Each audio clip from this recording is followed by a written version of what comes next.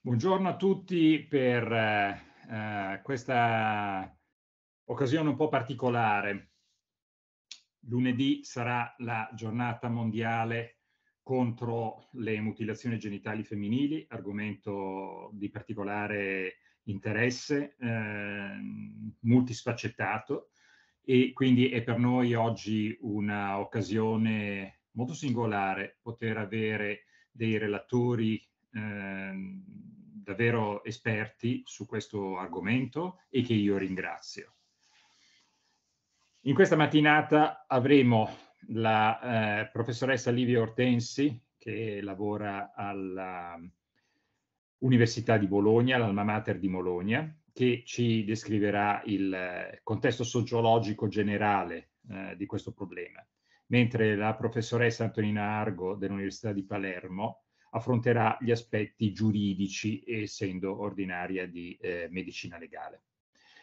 Successivamente affronteremo la parte, le, le, implicazioni cliniche, le implicazioni ostetriche con eh, la dottoressa Barbara Gruela dell'ospedale San Paolo di Milano e infine le implicazioni ginecologiche con la dottoressa Jasmine Albul-Kadir, responsabile dell'unità urgenze di ostetricia e ginecologia dell'ospedale universitario di eh, Ginevra. Do quindi il benvenuto alle nostre relatrici, do il benvenuto a chi ci sta seguendo, siamo già un numero cospicuo, vedo, e do quindi la parola alla uh, professoressa Livia Ortensi. Grazie molte per uh, aver accettato il nostro invito. Grazie a voi per, per l'invito, spero che mi vediate e mi, senti, mi sentiate. Eh, non la, la vediamo e la sentiamo, ma non la vediamo. Oh. Eccoci qua, adesso la vediamo. Ok, adesso provo anche a condividere il mio schermo. Allora, ehm, io vi ringrazio molto per questo invito perché ehm, sono molto contenta che ci sia anche un'attenzione. Io sono una demografa e quindi ehm, sono sempre molto ehm, contenta di poter lavorare e trattare questo tema con un'attenzione multidisciplinare. Eh, noi in generale siamo quelli che danno i numeri rispetto al, al tema delle mutilazioni genitali femminili e eh, essendo un tema molto complicato è spesso eh, difficile trattarlo da un punto di vista quantitativo. Noi abbiamo eh, un, un, forte scambio e anche un, insomma una, ci confrontiamo in modo molto ehm, eh, molto animato con chi ha un approccio molto qual- qualitativo al problema perché ci, rendi- ci, rendiamo conto che è difficile, cioè quando si dice ma questi dati voi come li prendete, cosa, cosa ne fate?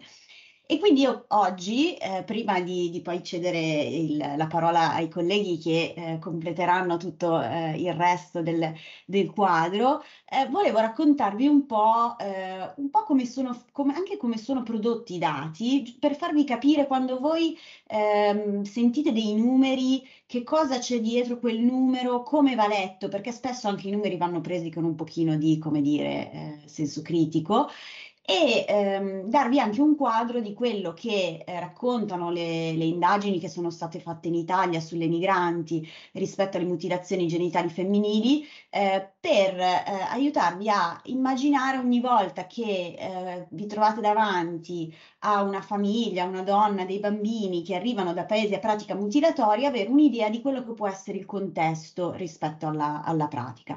Eh, prima di iniziare volevo, volevo, dire che tutti i lavori che, eh, che, andrò a citare sono frutto di un lavoro di, di gruppo, insomma, che va avanti da moltissimi anni, in team anche con l'Università degli Studi di Milano Bicocca, da cui io, dove io mi sono formata, e in particolare eh, con la professoressa Patrizia Farina, che è stata la prima che ha guidato eh, la primissima indagine che è stata fatta nel 2010 sulle mutilazioni genitali femminili in Lombardia. Allora, di cosa eh, parliamo intanto? Eh, partiamo dal, dall'aspetto macro. Eh, non, Adesso io vi do una definizione di mutilazioni genitali femminili, ma poi le colleghe eh, entreranno nel merito.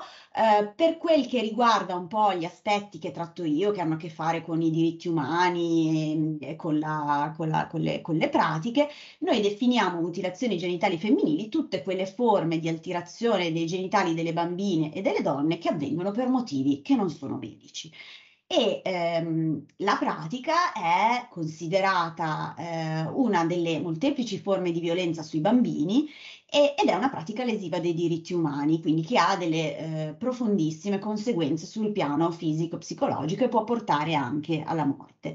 Da dove arriva questa pratica? Questa pratica ha origini antichissime, spesso si pensa che sia legata alla religione, ma in realtà arriva prima, nasce prima del, dell'Islam, prima del cristianesimo, quindi sono pratiche che hanno eh, origini antichissime e che continuano a appoggiarsi e eh, trovano loro, il loro motivo di andare avanti nella eh, disuguaglianza di genere che eh, pervade tutte le società e in particolare le società ehm, dei paesi a pratica mutilatoria. Eh, cominciamo a parlare dei numeri, che sono una parte che, eh, come dire, eh, è proprio il mio. Quel, il, il, numero che, che gira, che, si, che, che, voi sentirete, qualsiasi sito andate a, a, consultare, vi dirà almeno 200 milioni di donne e giovani hanno subito una mutilazione. Eh, io insisto sempre su questo almeno, nel senso che si tratta sicuramente di una sottostima. Perché?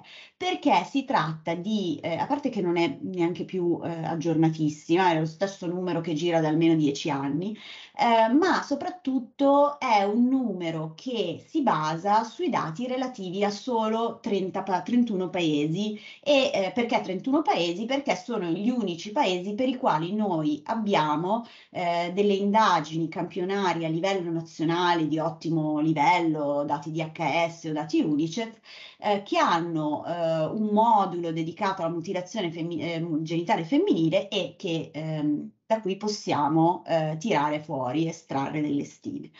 Come sono fatte queste stime? Si tratta di autodichiarazioni, quindi anche lì eh, noi ci fidiamo di quello che dice la donna che viene intervistata. È possibile che eh, soprattutto ora che molti eh, paesi hanno implementato delle leggi che vietano le mutilazioni genitali femminili, ci sia anche una componente di underreporting, cioè di persone che eh, invece hanno subito la pratica ma non lo dicono all'intervistatore.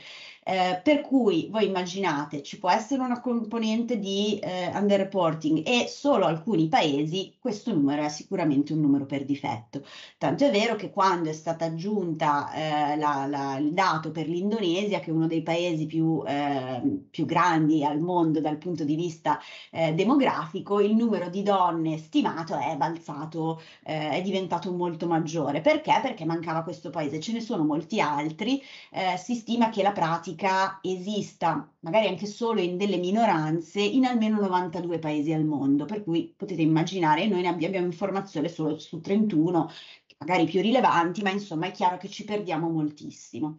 Eh, si stima che ogni anno eh, bambine e ragazze eh, siano a rischio di questa pratica e eh, per quanto ci sia eh, un, un, percorso in moltissimi paesi verso l'abbandono di questa pratica, eh, anche solo la pandemia ha interrotto moltissimi programmi di prevenzione, di sensibilizzazione e quindi ehm, il, per, per, esempio il, tutte le volte che succede qualcosa che eh, porta a una perturbazione dello status quo che può essere la pandemia Covid, ma può essere anche in questi paesi una guerra, un, l'inizio di un'instabilità politica, tutto questo può eh, rallentare eh, il percorso verso l'abbandono della pratica. Abbandono della pratica che è anche uno degli obiettivi di sviluppo sostenibile.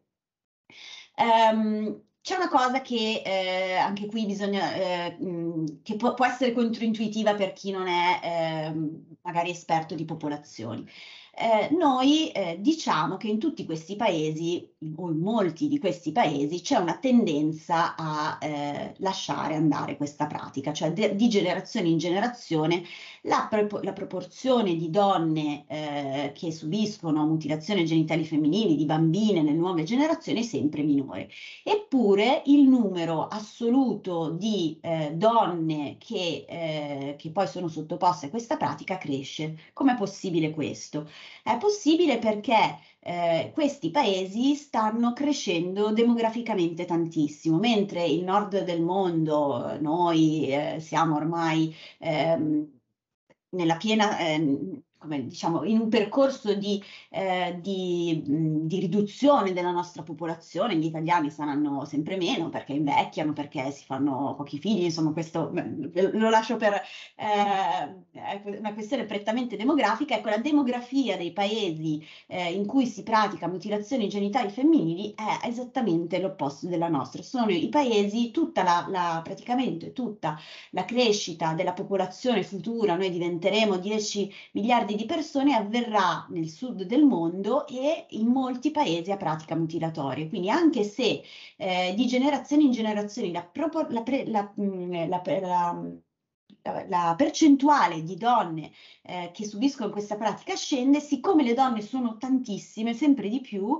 il numero assoluto di vittime va a crescere. Per cui, per quanto noi, ed è una questione proprio di inerzia demografica, quando questi paesi poi rallenteranno, eh, l'insieme delle due tendenze, meno, eh, meno pratica nelle generazioni e generazioni che si riducono, porterà poi a una riduzione. Ma in questo momento il trend ci dice che per quanti sforzi noi eh, possiamo fare, il numero di vittime eh, andrà comunque a crescere.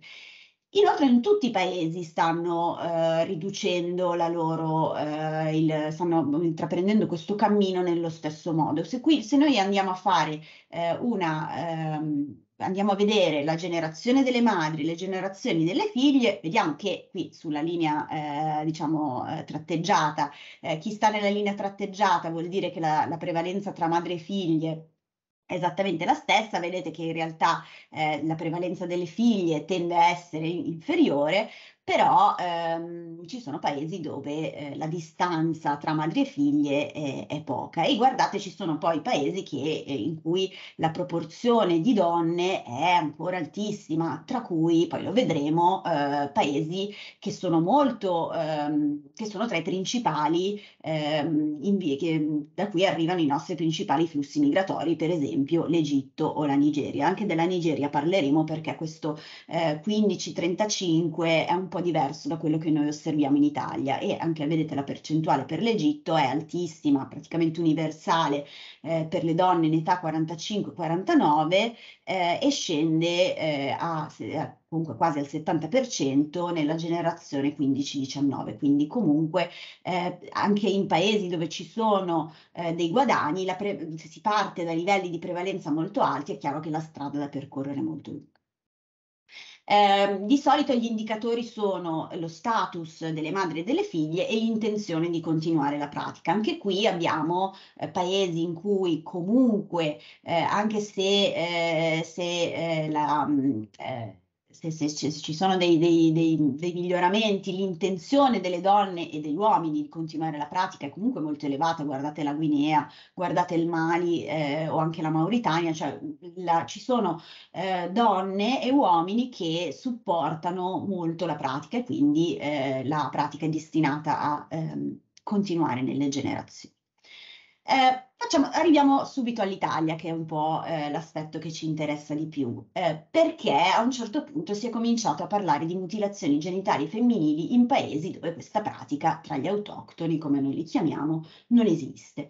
Eh, perché dagli anni 90 l'Italia è diventato un paese di immigrazione e quindi ehm, piano piano sono arrivati eh, persone da questi paesi e Successivamente direi, perché la maggior parte della, eh, dei paesi a pratica mutilatoria ha avuto un pattern di migrazione che vedeva arrivare prima gli uomini, questo tipicamente per i senegalesi, per gli egiziani, eh, tutta quella parte di mondo eh, ha una migrazione, una prima migrazione tipicamente maschile, seguita poi dai ricongiungimenti familiari. Quindi diciamo non è, non è successo subito, ma dai primi anni 90 sono arrivati eh, delle persone, degli uomini eh, a lavorare in Italia, questi a un certo punto hanno cominciato a fare ricongiungimento familiare. Che tipo di migrazione? Quindi portare donne, donne che eh, da una parte potevano avere, ehm, prima di migrare, essere state eh, vittime di mutilazione genitali femminili e poi questo apre tutto un discorso sulle seconde generazioni, cioè sulle bambine che, nas- che eh, o vengono ricon- eh, ricongiunte in Italia o che nascono in Italia, che succede a queste bambine. Che tipo di, eh, di migrazione vediamo noi da questi paesi? Abbiamo, come vi dicevo, prevalentemente ricongiungimenti familiari. Eh, da alcuni paesi, per esempio la Nigeria, da alcuni paesi dell'Africa subsahariana abbiamo anche, abbiamo anche migrazioni indipendenti, sono meno, meno, frequenti da questi paesi rispetto a altre provenienze. Immaginatevi l'America Latina o l'Est Europa, eh, moltissima migrazione indipendente femminile, da questi paesi è meno frequente, però esiste.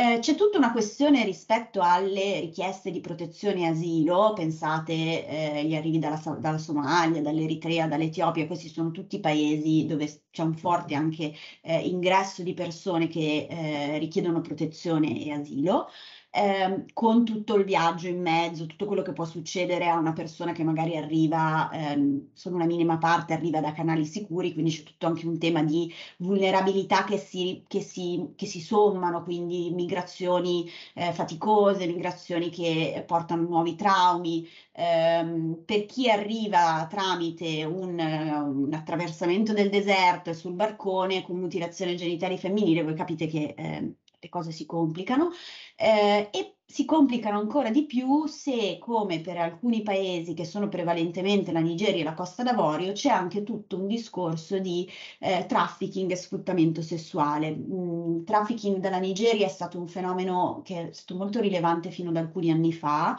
fino a prima del Covid, diciamo, tutte le, quasi tutte le donne che, ehm, che arrivavano sulle, sui, sui, barconi, insomma, chiamiamoli così, sul, eh, che sbarcavano in Italia erano quasi tutte nigeriane, una buona parte, e moltissime si sapeva benissimo che erano vittime di sfruttamento sessuale. Dopo la pandemia ha cambiato un po' eh, questo genere di flussi, adesso però eh, si è attivato un flusso che è quasi sostituito quello delle nigeriane, che arriva dalla Costa d'Avorio, che è un altro paese a pratica mutilatoria.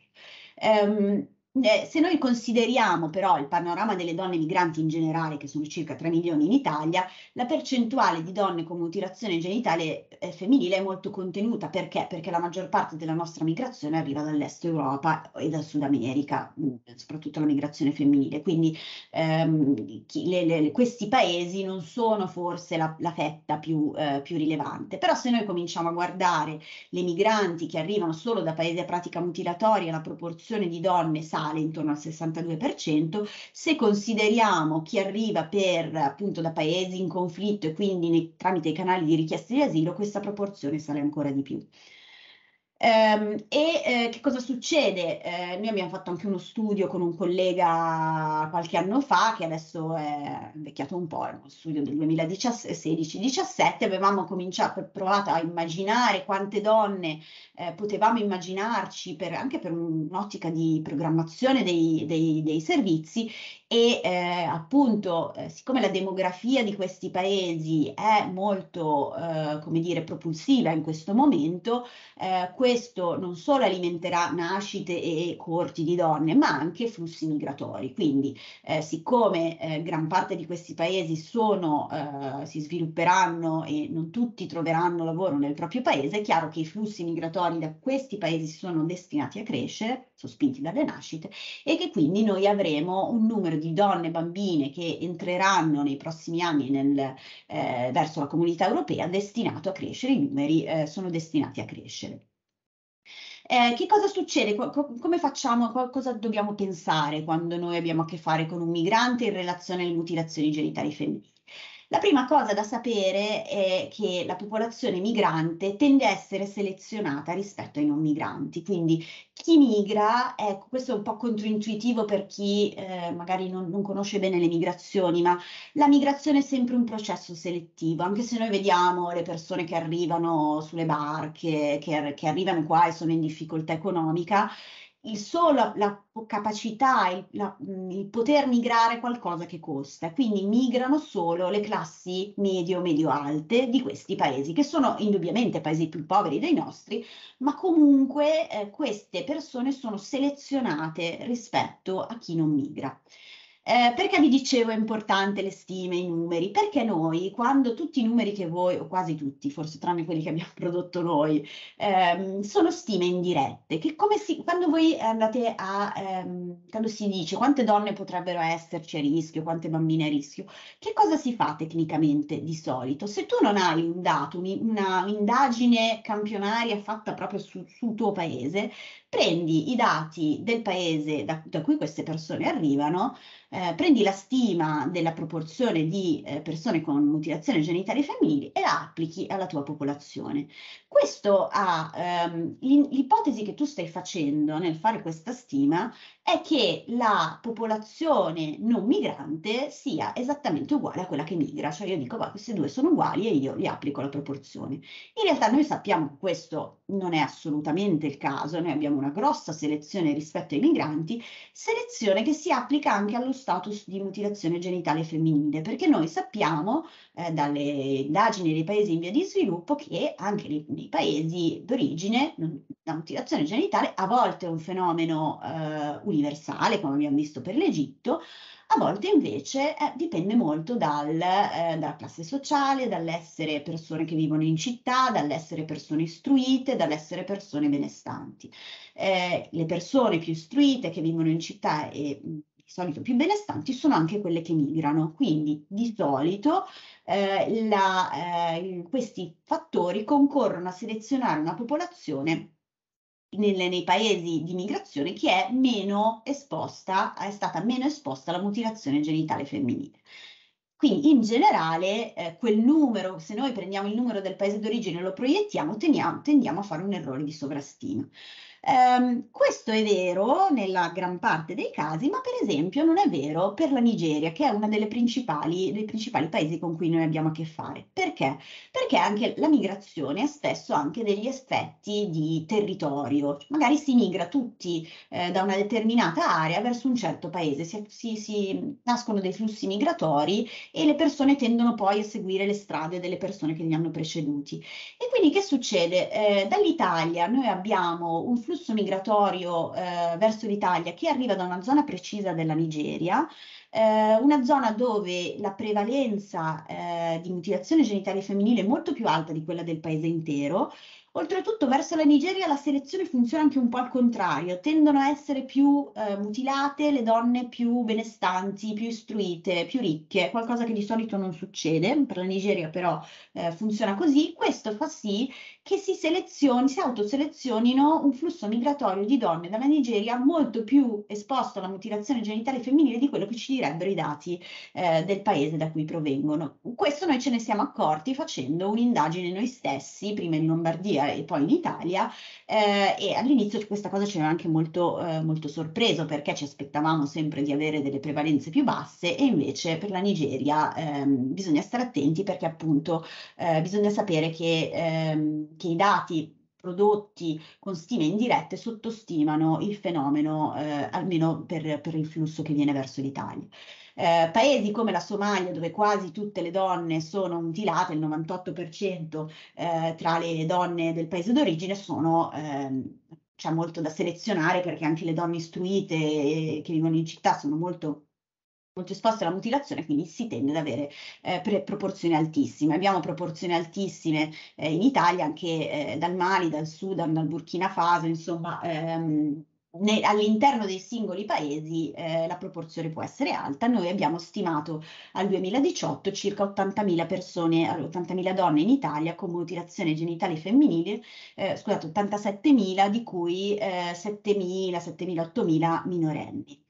Um, adesso vado un po' veloce su tutta la questione del... Um, cosa pensano, eh, però eh, gran parte delle persone eh, che sono state intervistate in Italia non sono favorevoli alla continuazione della pratica, c'è solo un 13% che eh, diceva di essere favorevole, un ulteriore 8% se la pratica fosse fatta in ospedale. La questione della, eh, del, dire, dell'ospedalizzazione della pratica è molto dibattuta in letteratura e penso che lo sappiate meglio di me. Um, però ecco, eh, in, in, realtà eh, questi, questo aspetto di selezione tende a selezionare anche persone che poi non supportano la pratica. Lo stare in migrazione fuori dal tuo contesto d'origine tende a, oltretutto, a staccarti, eh, a staccarti dal, dal, dal, tuo contesto e quindi la migrazione di per sé è qualcosa che abbassa il rischio di, eh, di, di, di mutilazione nei confronti delle bambine ehm, perché eh, se si chiede appunto eh, se la pratica dovrebbe eh, proseguire, tendono, eh, tende a, ehm, a supportare la pratica chi l'ha subita eh, per se stesso, che è controintuitivo perché uno dice ma come eh, tu hai subito questa pratica e, e, adesso vorresti farla su tua figlia? A me mh, all'inizio stupiva molto questa cosa.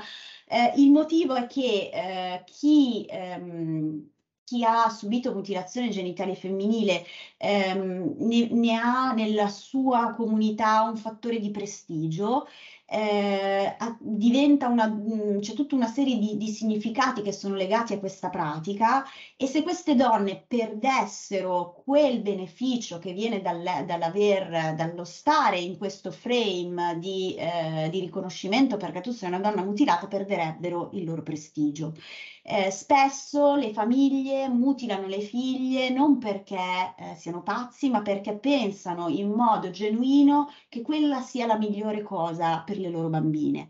Ovviamente chi è meno istruito tende a sposare questo genere di, eh, di ragionamento, ma eh, bisogna capire che c'è dietro un, delle migliori intenzioni che, eh, che, vanno un po' nella direzione sbagliata. Perché si vuole andare avanti nella pratica? Per dare alle bambine bambine migliori prospettive matrimoniali, preservarne la verginità che per queste, in, queste, eh, in alcune comunità è eh, ancora un valore, cioè c'è chiaramente tutto un, eh, un discorso di, eh, appunto vi dicevo, di ehm, eh, di diseguaglianza di genere, cioè dove la verginità è un, l'essere vergine al matrimonio è un plus, allora la mutilazione genitale diventa una cosa che li aiuta eh, in questa ottica un po' appunto eh, che noi non capiamo, non riusciamo neanche a capire, eh, c'è tutto un portato di eh, attaccamento alle tradizioni culturali del paese d'origine trasmettere valori, disciplina, tutto ciò che si, ten, si magari si, tende, si, teme di perdere in, in emigrazione. E, ehm, e quindi ehm, tanto più le persone eh, non sono, eh, come dire, integrate, tanto più tendono a eh, supportare la pratica. Eh, nelle nuove generazioni questo eh, più si, si migra giovani, se si è nati qui eh, non c'è, tende, le persone si distaccano da questa pratica. Ehm, ma chiaramente quando c'è, eh, ehm, dov'era? Eh, quando c'è in famiglia una, una, un, ci sono donne che hanno subito mutilazione fe, eh, genitale femminile, il supporto alla pratica tende a essere eh, maggiore. Tende a essere maggiore quando si pensa che eh, la pratica sia legata a un, una questione religiosa, eh, se si pensa che il, prati, che il partner sia favorevole, se, il, se io sono in un contesto chiuso, isolato, dove penso e le persone pensano che la pratica sia buona per le bambine, allora le bambine sono a rischio. Um, quindi quali sono i fattori protettivi? Sono l'empowerment, più noi diamo alle donne eh, degli strumenti per muoversi autonomamente nella nostra società, anche un corso di lingue, anche la possibilità di farle muovere sul territorio, il fatto che possono andare da sole dal ginecologo, tutti questi fattori che a noi sembrano banali, ma tutto ciò che rende le donne eh, empowered eh, aiuta a, eh, a, distaccarle da tutto ciò che rende, le fa, le fa vedere la mutilazione genitale femminile come qualcosa di positivo e questo eh, tende a ehm, diciamo, essere protettivo per le bambine. Eh, inoltre, appunto, eh, chi è figlio di una donna che non ha avuto mutilazione fe- eh, genitale femminile, a meno che non sia sposato con un padre eh, che viene da, da, questi paesi e supporta la pratica, di solito se si ha una madre che non è, ehm, che non è ehm, mutilata, no, le bambine non sono a rischio. Per cui eh, la, la, prima cosa da guardare se si è davanti una famiglia eh, che viene da un paese a pratica mutilatoria è la condizione della madre, perché questo già ci dice se noi potenzialmente abbiamo davanti una bambina a rischio oppure no. Um, ed è importante anche perché tanto più noi eh, interrompiamo eh, questa catena tra madri e figli, tanto più salveremo tutte, eh, diciamo, fermeremo la pratica nelle generazioni successive. Quindi tutto quello che noi possiamo fare è prezioso perché ehm, va a tutelare eh, le bambine che nasceranno. Eh, quindi eh, per concludere, eh, che cosa eh, dobbiamo sapere quando abbiamo davanti, eh, rispetto al contesto diciamo, sociologico, ehm, una, delle, delle donne che vengono da paesi a pratica mutilatoria già sapere qual è la probabilità, qual è la proporzione di, eh, di donne mutilate nella loro eh, comunità ci dà un'idea eh, spannometrica del rischio. Quindi eh, questo è sicuramente utile. È uno, io lo vedo come non è che io sia, eh, voglia vendere il mio lavoro, ma io credo che sia proprio uno strumento di lavoro. Eh, quindi la pro- probabilità che queste donne abbiano subito prima di migrare mutilazione genitali femminili. Se l'hanno subita, io ho davanti una bambina potenzialmente a rischio rischio. Allora ho bisogno di capire se questa donna è, eh, quanto, più questa donna è istruita, tanto più questa donna è eh, inserita nella società, tanto meno sarà, eh, il rischio sarà alto. Però eh, questo, lo status della madre è eh, una cosa assolutamente ehm, rilevante. Um, io vi lascio poi, eh, posso poi eh, darvi queste slide, un elenco di bibliografie essenziali, molte cose le saprete, eh, in modo da, poter, eh, da potervi lasciare anche uno strumento e qualcosa, qualcosa da leggere. Eh, vi ringrazio per l'attenzione e ovviamente se ci sono domande rispondo volentieri. Grazie. Cara professoressa, ci saranno sì domande. Io Certamente ne ho, ma le facciamo alla, in genere le facciamo alla fine eh, di tutte le presentazioni, se, se, lei è d'accordo e se lei può rimanere. Va benissimo, sì certo. Per eh, tutta la trasmissione. Eh, e a questo punto io chiedo alla eh, professoressa Antonina Argo eh, di parlarci degli aspetti. È in linea? Sì, eh, sono in linea con eh, per intanto con eh, il telefonino perché col computer dell'università i due Teams di Unipy e Unimi eh, sono entrati eh, in conflitto, però avevo già inviato le diapositive. Mi sentite? Sì, sì, sì. Sì, la sentiamo. Le nostre prove non sono state sufficienti, le nostre prove tecniche.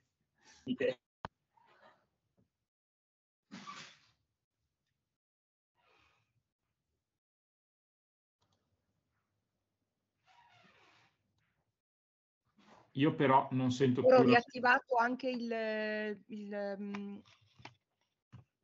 Mi sentite ora? Benissimo. Sì, la sentiamo. Benissimo. E allora, eh, intanto eh, dico, vi ringrazio eh, sinceramente per avere, ehm, dico, previsto una parte di intervento che riguarda l'area, eh, voi avete detto giuridica, in realtà io dico medico-legale. molte delle mh, osservazioni mi sentite ancora? Sì, sì, la sentiamo, professoressa. Perfetto, perché qui ogni tanto dà segnali eh, contrastanti. E molte delle osservazioni che sono state poste dalla collega che mi ha preceduto, ovviamente con un focus eh, differente dal mio habitus professionale, eh, sono eh, essenziali, fondamentali per comprendere questa realtà dal punto di vista medico, medico-giuridico e soprattutto medico-legale. Ovviamente io ripercorrerò alcuni momenti normativi che hanno eh, dato, diciamo così, un, un, grande impulso all'attività proprio di presa in carico delle donne sul nostro eh, territorio e soprattutto, questo mh, ci tengo a sottolinearlo, il mio focus sarà anche riferito alla questione della violenza di genere e per le attività che io svolgo quotidianamente all'interno di un ambulatorio di vittime di violenza eh, intenzionale che è riferito anche alle popolazioni migranti, anche alla presa in carico quest- di queste persone e a seguito della richiesta che ci viene fatta dai corridoi umanitari attivati dallo Stato o eh, dalle associazioni che prendono in carico direttamente al, nella fase del, dello sbarco, ehm, diverse associazioni, diverse ONG e ai CAFS, ci capita eh, sovente di eh, supportare anche a livello certificativo ehm, l'attestazione, quindi la, la valutazione della donna, la certificazione in un contesto che ha un valore legale, giuridico e che supporta appunto la donna eh, nel, mm, diciamo così, nella eh, richiesta di una ehm, tutela internazionale. Questo è un fatto importantissimo, nasce eh, nella nostra realtà operativa dal 2018 grazie a una convenzione che l'Università degli Studi ha svolto riferita a questa attività e poi globalmente ad un'attività di ricerca di terza missione eh, che poi confluita in un'attività di ricerca eh, che si chiama CIRMigrare nell'ambito di eh, UNIPA e poi all'interno di un dottorato migrazioni giustizia che comprende anche gli aspetti di natura medica. E volendo andare eh, con ordine in un contesto che è quello sovranazionale per gli assetti normativi, ed è penso a tutti noi noto, eh, bisogna fermarsi al momento in cui finalmente la mutilazione genitale femminile è non divieto globale. E quindi il nostro riferimento puntuale è dato sicuramente dall'Assemblea Generale delle Nazioni Unite eh, nel 2012 eh, che prevede una risoluzione che viene anche contestualmente accolta dall'Unione Europea. E se torniamo un attimo indietro alla diapositiva precedente, volevo soffermarmi sui eh, due passaggi che in qualche modo sono stati richiamati in molte delle parole della collega, ma che poi vedremo ricalcati eh, anche se anticipati nella normativa nazionale, e sono i due momenti che riguardano da un lato la repressione di un fenomeno che viene bandito in quanto oh, oggettivamente non fa parte di nessun contesto di, di apprezzabile utilità nell'ambito medico, ma eh, l'altro focus molto rilevante è costituito dalla protezione. È stato detto, ma lo dobbiamo ribadire con forza, anche quando noi visitiamo donne adulte, i corridoi umanitari riguardano sia le minori sia le donne adulte, e, ehm, ovviamente nella maggior parte dei casi il fenomeno riguarda eh, bambine, prima, seconda, terza infanzia e adolescenti, quindi eh, il problema del, della protezione dei minori è un problema sotto il profilo giuridico assolutamente rilevante, ma non si è arrivato al, diciamo, al fatto di bandire la mutilazione genitale femminile come un fatto indolore, assolutamente no. La Convenzione sui diritti del fanciullo a lungo, proprio per l'ostilità che su questo tema veniva posta da parte eh, di alcuni paesi africani soprattutto, eh, vedeva, diciamo così, eh, contrasto a queste ipotesi e quindi nonostante fosse chiaro, evidente, pacifico che la protezione del minore dovesse riguardare anche questo aspetto, per lungo tempo nella protezione del minore non è ricaduto. Eh, sotto il profilo della protezione riguardano i modelli educativi, l'intervento educativo, inclusivo di tutela e protezione riguarda innanzitutto un modello eh, sociale, antropologico e eh, un'operatività eh, che riguarda per esempio la scuola di italiano per stranieri no? in un supporto globale. Per la parte, diciamo, nostra, di focus nostro medico, di area più medico-sanitaria, professioni sanitarie, riguarda ovviamente il supporto di cure, la presa in carico complessiva e eh, diciamo tutto il contesto di delicatezza che non è mai troppa in quest'area, che può consentire mh, di mh, parlarne, eh, di eh, verificarne e di utilizzarle anche ai fini di una certificazione che serva a uno strumento di tutela aggiuntivo e suppletivo per, eh, per la donna o per la minore di sesso eh, femminile. Andiamo alla prossima diapositiva. Ok, quindi questi sono alcuni passaggi eh, ripresi anche nella risoluzione del Parlamento europeo, mh, mm, una risoluzione stringata, sono due pagine, però anch'essa molto significativa. In qualche modo, come vedremo, l'Italia con eh, un aspetto sanzionatorio di ordine penale aveva già anticipato molti di questi eh, rilievi. Per esempio, eh, in, introitando nel dispositivo penale il fatto che le mutilazioni, già l'utilizzo del termine mutilazione non è stato indolore, si arriva nel contesto medico a eh, distinguere nettamente la questione della mutilazione e della circoncisione a fatica, l'utilizzo delle parole rappresenta la cesura rispetto ad un mondo che non voleva accogliere questa indicazione.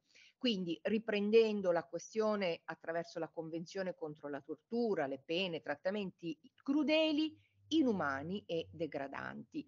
Eh, la questione del degradante non si riferisce soltanto all'invasività che può essere sotto il profilo medico-biologico non particolarmente rilevante in alcuni di questi contesti, lo vedremo poi recepi- che l'ha recepito pienamente il nostro legislatore, ma la questione della eh, degradante, riguarda un'area psichica, di affettività, di sfera emotiva del soggetto, eh, qualcosa che un trattamento può essere sotto il profilo medico-sanitario effettivamente poco invasivo, ma poiché attiene le aree più intime eh, dell'individuo diventa eh, elemento di vulnerabilità. E se poi riguarda, come chiaramente il legislatore ci rappresenta anche in Italia, la sfera della libertà personale, e la libertà sessuale fa parte di questa sfera di libertà, effettivamente richiama il fondamento della dignità che deve essere preservata in tutte le sue forme. E quindi richiamo alla libertà, richiamo alla libertà anche di ordine sessuale, richiamo al caposaldo dell'articolo 2 costituzionale. Da qui proviene tutto l'assetto di valori, di indicazioni, diritti personalissimi, inviolabili che riguardano il nostro alveo costituzionale la persona, non il cittadino. E quindi siamo assolutamente autorizzati ad applicare a tutti coloro che transitano attraverso il nostro territorio, tutte le persone che transitano attraverso il nostro territorio, a maggior ragione se, come riferito dalle convenzioni internazionali, lo vedremo in una mh, mhmm, sentenza che ha aperto poi anche la stura a questo tipo di accertamento eh, del Tribunale di Catania, eh, se sono proprio per questo, in ragione di questa attività eh, degradante, inumana, non rispettosa dei diritti inviolabili, personalissimi dell'individuo, meritevoli di specifica eh, tutela. E, ehm, quindi eh, ovviamente c'è tutto un percorso che porta poi ad una prospettiva di eradicazione di questo fenomeno eh, degradante, inumano che non corrisponde ad una non potrebbe mai corrispondere ad una libera disponibilità del soggetto proprio perché riguarda nella stragrande maggioranza dei casi soggetti che sono vulnerabili per definizione in quanto minori attraverso una prospettiva di intervento, uno scenario di intervento che dovrebbe diciamo entro il 2030, credo che sia questa la data ultima, consentire di eradicare o eh, abbattere significativamente questo fenomeno. E, e, non a caso poi la Convenzione del Consiglio d'Europa nel volere riallacciare, diciamo così, in una sfera più ampia di tutela di diritto di contrasto, eh, eh, unifica questa eh, lotta alle mutilazioni genitali femminili all'interno della violenza contro le donne, la violenza domestica e alla violenza di genere. Il che dal mio punto di vista proprio di medico, di medico legale, per quell'attività che quotidianamente svolgo nell'ambulatorio dell'azienda policlinico e nell'ambulatorio per le eh, sospette vittime di violenza, torture, a me sembra assolutamente coerente, cioè lo vedo oggettivamente in una prospettiva che diversa non potrebbe essere e mi consente di eh, riunificare, di rivalutare, di considerare tutti questi elementi sotto un unicum che è quella della libertà della persona, del rispetto dei suoi diritti inviolabili. E quindi siamo esattamente in materia di diritti umani. Eh, possiamo andare all'altra diapositiva continuando a scorrere i punti fondamentali di questa eh, direttiva, eh, ovviamente si specifica mh, ed è corretto che lo si faccia la questione che trattandosi di bambine o ragazzine, ovviamente è un vero e proprio abuso sui minori.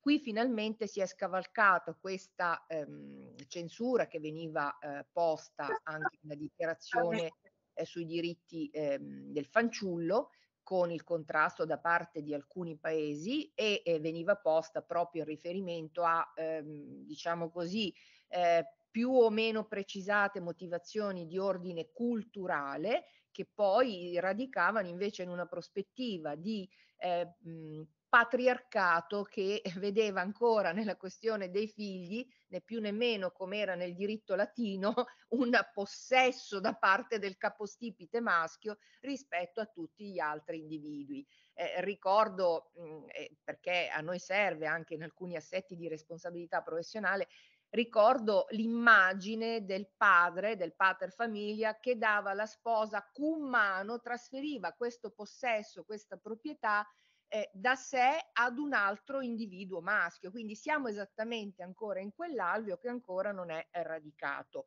Questa immagine a me torna sempre, mh, diciamo così, vivida nel momento in cui visito queste, eh, queste donne o queste ragazze quando vengono alla nostra attenzione attraverso i corridoi umanitari e non solo. E ovviamente c'è tutto il trascinamento di effetti che riguardano il tema globale della salute delle donne, eh, ne parleranno poi penso successivamente eh, le colleghe eh, che mh, si avvicenderanno, quindi io non mi soffermo su questi passaggi, ma anche da questo punto di vista molto eh, la ricerca scientifica, la ricerca sul campo, eh, gli studi, le valutazioni epidemiologiche hanno fatto per sconfessare il tema di una qualche utilità eh, di una qualche valutazione possibile condivisione rispetto alle mh, mutilazioni, che rimangono a questo punto solo ed esclusivamente mutilazioni. Andiamo avanti. Ovviamente molte di queste complicanze incidentalmente noi ne osserviamo nelle valutazioni che svolgiamo non per finalità clinica ma a fianco del clinico per eh, la questione della tutela eh, eh, dei soggetti vulnerabili. E quindi evidentemente, come ci ricordano le rappresentazioni nella cornice internazionale, è una rappresentazione esattamente di una disparità di forza, ammantata sotto le più eh, diverse eh, caratterizzazioni di ordine sociale, culturale, lato senso e religioso, il che non è, e eh, si arriva ad una previsione di sanzioni eh, efficaci che costituiscano il deterrente e che supportino le professioni sanitarie in tutti i contesti nel ehm, divieto a questa eh, attività. Ora, eh, diciamo così, la prospettiva che a lungo ha avuto eh, rappresentazione nella eh, cultura scientifica medica, sanitaria, anche nord europea, per cui si è detto, vabbè, mh, però se vengono effettuate nel contesto eh, di un'area sanitaria si minimizza eh, anziché diciamo così abusivamente da parte di alcunché si eh, minimizza la potenzialità di effetti lesivi, di eh, diciamo così, di eh, effetti collaterali, di infezioni ricorrenti, non ha davvero spazio nell'ambito di una rappresentazione veritiera eh, dei fatti, ma soprattutto non deve, non può avere spazio alla luce di quella che è la cornice normativa, sia internazionale sia soprattutto nazionale. Per cui è un divieto netto, secco, perché non ce n'è nessuna ragione e, ed è un divieto che fa parte alla questione dei diritti fondamentali della persona. Andiamo alla prossima diapositiva.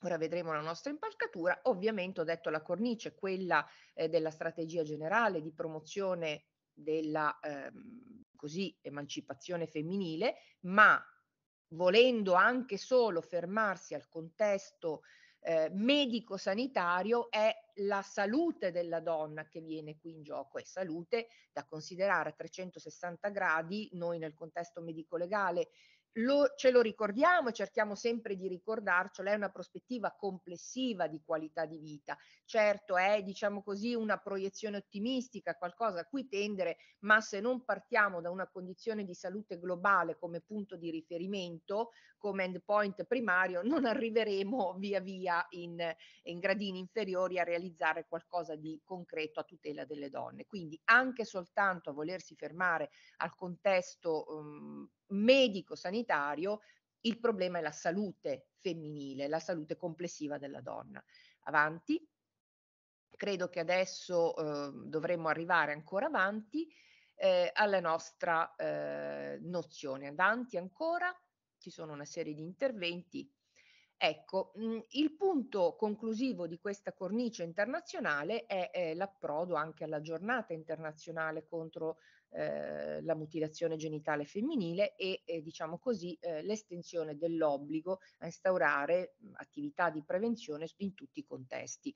Quindi questo è un momento simbolico però estremamente rilevante che eh, diciamo così inquadra all'interno eh, di un carattere complessivo e globale di contrasto alla violenza di genere anche questa fattispecie. Andiamo avanti e arriviamo eh, così a quello che si è fatto in Italia.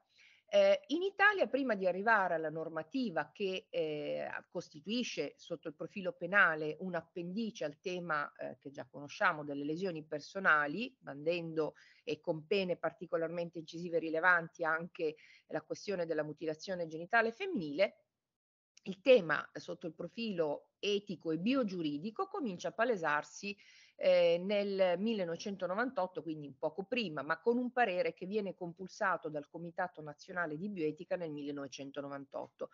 Eh, questo parere eh, viene formulato sia con riguardo alla circoncisione maschile che alla circoncisione anche relativa alle donne, ai soggetti di sesso femminile, ma anche in questo parere, che ovviamente eh, compulsa, raccoglie diverse sensibilità, alla fine si conclude con una posizione netta di censura e siamo nel 1998, vi riporto soltanto questo passaggio, eh, quella che ancora veniva mh, chiamata circoncisione femminile, già allora in assenza di un dispositivo penale e della cornice sovranazionale che abbiamo visto, non possa essere ritenuta lecita sotto alcun profilo, né etico né giuridico. Quindi tutte le sensibilità con le diverse prospettive etiche in tema di qualità, sacralità di vita e eh, così dicendo, che confluiscono in questo comitato che è, è, un organo consultivo fondamentale eh, per il nostro assetto eh, normativo alla fine concludono, pur chiamandola ancora circoncisione impropriamente sotto il profilo medico-sanitario, che non vi è alcuna possibilità giustificativa di alcun genere, né etico né giuridico. Questo è un passaggio rilevante ed è rilevante perché lo abbiamo raggiunto in Italia nel 1998, quando ancora il consenso internazionale era ancora ben lungi dal poterlo eh, rappresentare. Andiamo alla prossima diapositiva e arriviamo finalmente alla legge Consolo del 2006. Eh, è una legge forte, è una legge che eh, proietta un impulso penale molto significativo, anche perché tocca la questione eh, della, eh, si chiamava allora ancora potestà genitoriale, ancora tradotta dal codice Rocco, non era ancora chiamata responsabilità genitoriale, non poteva essere chiamata responsabilità genitoriale perché la riforma del diritto di famiglia interviene successivamente, ma possiamo oggi eh, declinare quei passaggi di potestà genitoriale nel senso eh, corretto di responsabilità genitoriale.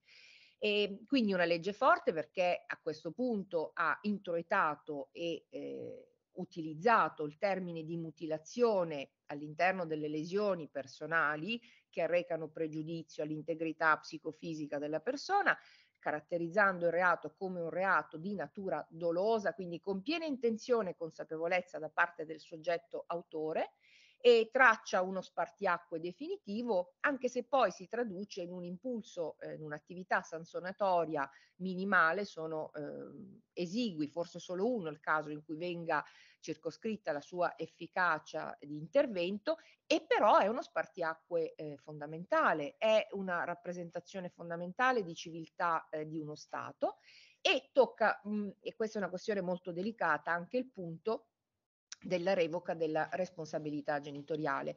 Eh, ovviamente eh, diciamo la casistica che noi affrontiamo nel nostro ambulatorio non riguarda questo tema, credo però che in molti casi, in molte eh, comunità dove ci sia un affido di minori, ehm, eh, popolazioni migranti possa toccarsi anche questa questione o anche nella società, diciamo così, eh, comune possa mh, trovarsi questa fattispecie, laddove ci sia un contrasto di posizioni tra eh, figure genitoriali eh, e eh, attività che venga svolta eh, di mutilazione genitale femminile che comunque è sanzionata.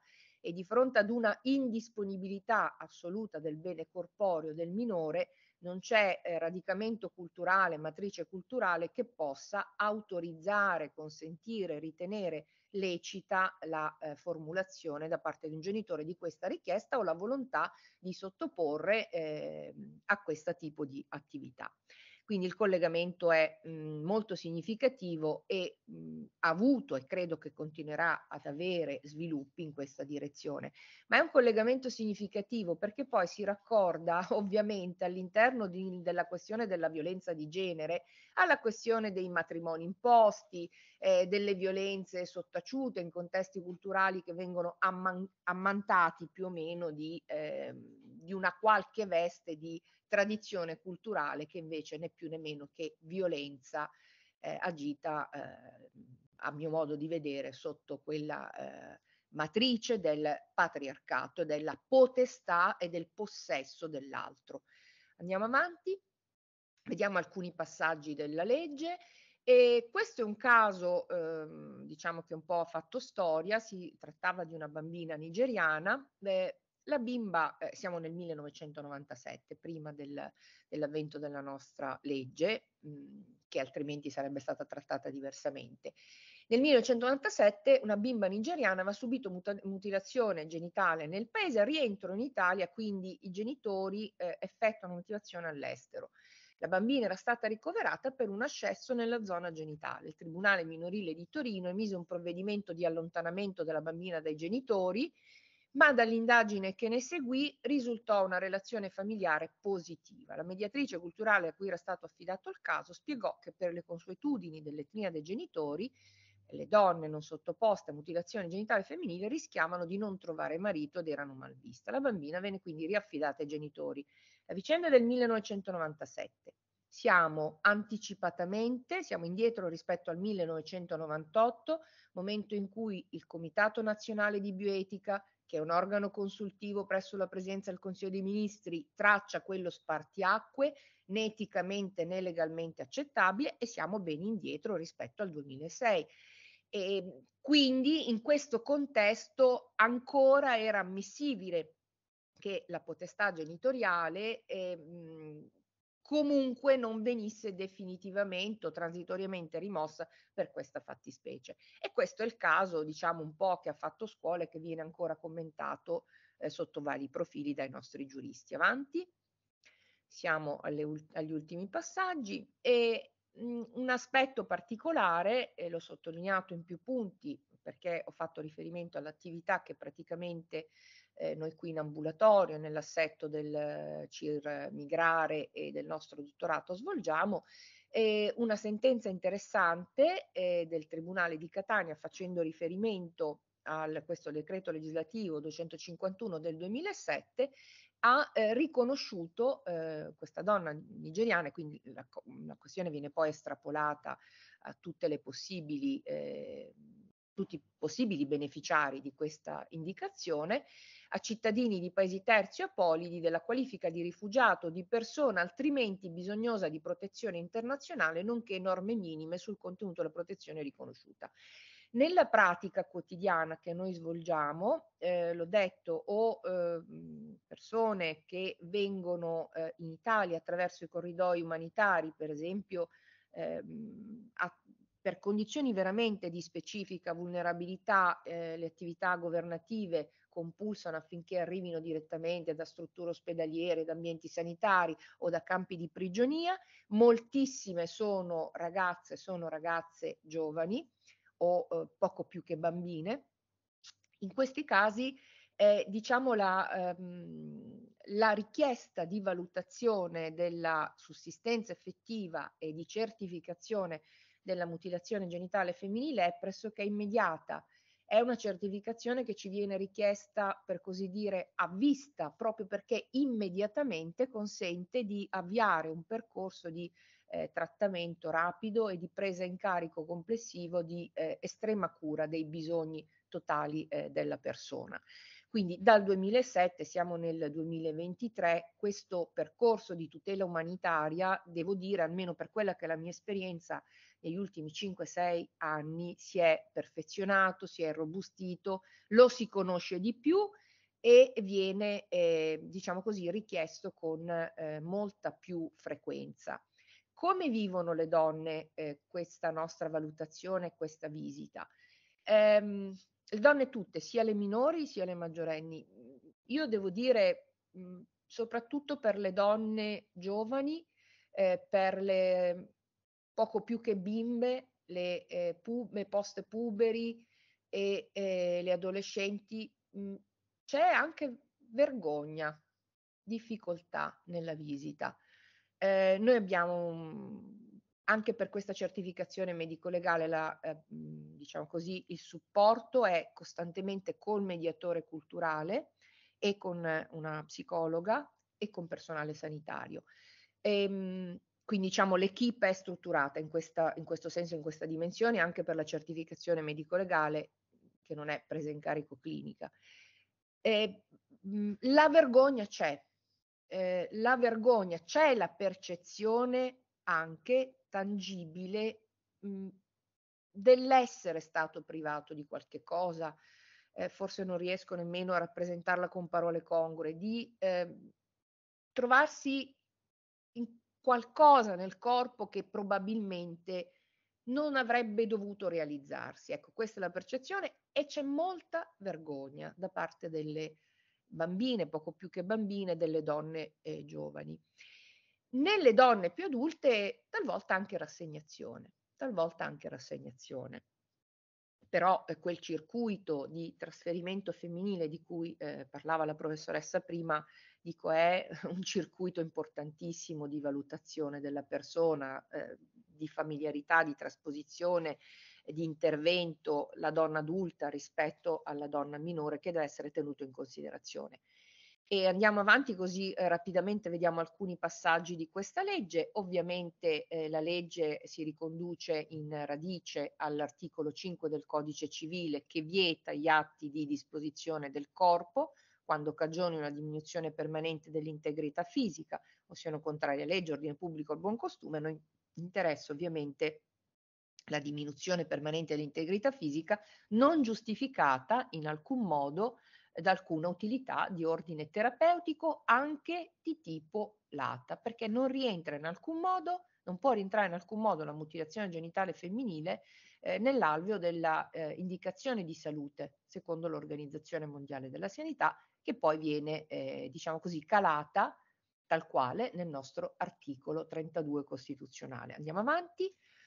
E, ehm, mh, questi sono eh, diciamo gli assetti eh, così importanti della legge che hanno toccato la questione dell'offesa dell'integrità eh, psicofisica alla persona che è il concetto di eh, lesione personale. Chiunque in assenza di esigenze terapeutiche cagiona mutilazione degli organi genitali femminili punito con la reclusione da 4 a 12 anni, quindi pene, sanzioni molto rilevanti, certo mh, non applicate ma costituiscono eh, quell'ottica propositiva di deterrente significativo. E un aspetto importante di questa legge che è stato molto commentato è il fatto che si intendono come pratiche di mutilazione degli organi genitali fine clitoridettomie, scissione, infibulazione e qualsiasi altra pratica che cagioni effetti dello stesso tipo.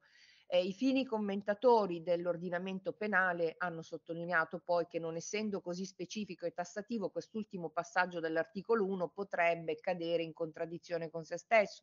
Il diritto penale deve essere sempre tassativo. Sì, ma eh, il punto a cui vuole tendere l'articolo è comunque di mettere al riparo da tutte le possibili manipolazioni dell'area genitale femminile che non abbiano che non rechino con sé nessuna giustificazione di ordine medico-sanitario. E poiché, eh, diciamo così, eh, l'assetto delle eh, lesioni personali è comunque un assetto libero, non è vincolato nel mezzo nel modo, eh, ci sta perfettamente. Quindi questa critica all'ordinamento è stata poi rimossa. Andiamo avanti. Andiamo avanti la condotta materiale e eh, ovviamente un altro aspetto di assoluta rilevanza perché queste sono comunque, sono comunque addendum agli articoli del codice penale che parlano di lesione personale è la possibilità di determinare malattia nel corpo o nella mente. Quindi tutto ciò che eh, riguardi la sfera psichica, di affettività, di emotività della persona, è comunque un impulso a sostanziare di alterazione, di compromissione, comunque un impulso a sostanziare il concetto di lesione personale. E quindi eh, tutta quella alterazione del vissuto, dell'habitus emotivo della persona a seguito della mutilazione, se anche non arrecasse fenomeni controproducenti di ordine fisico in tema di salute, ricade comunque nell'alterazione emotiva e quindi della libertà della persona, ricade esattamente in questo contesto. Avanti.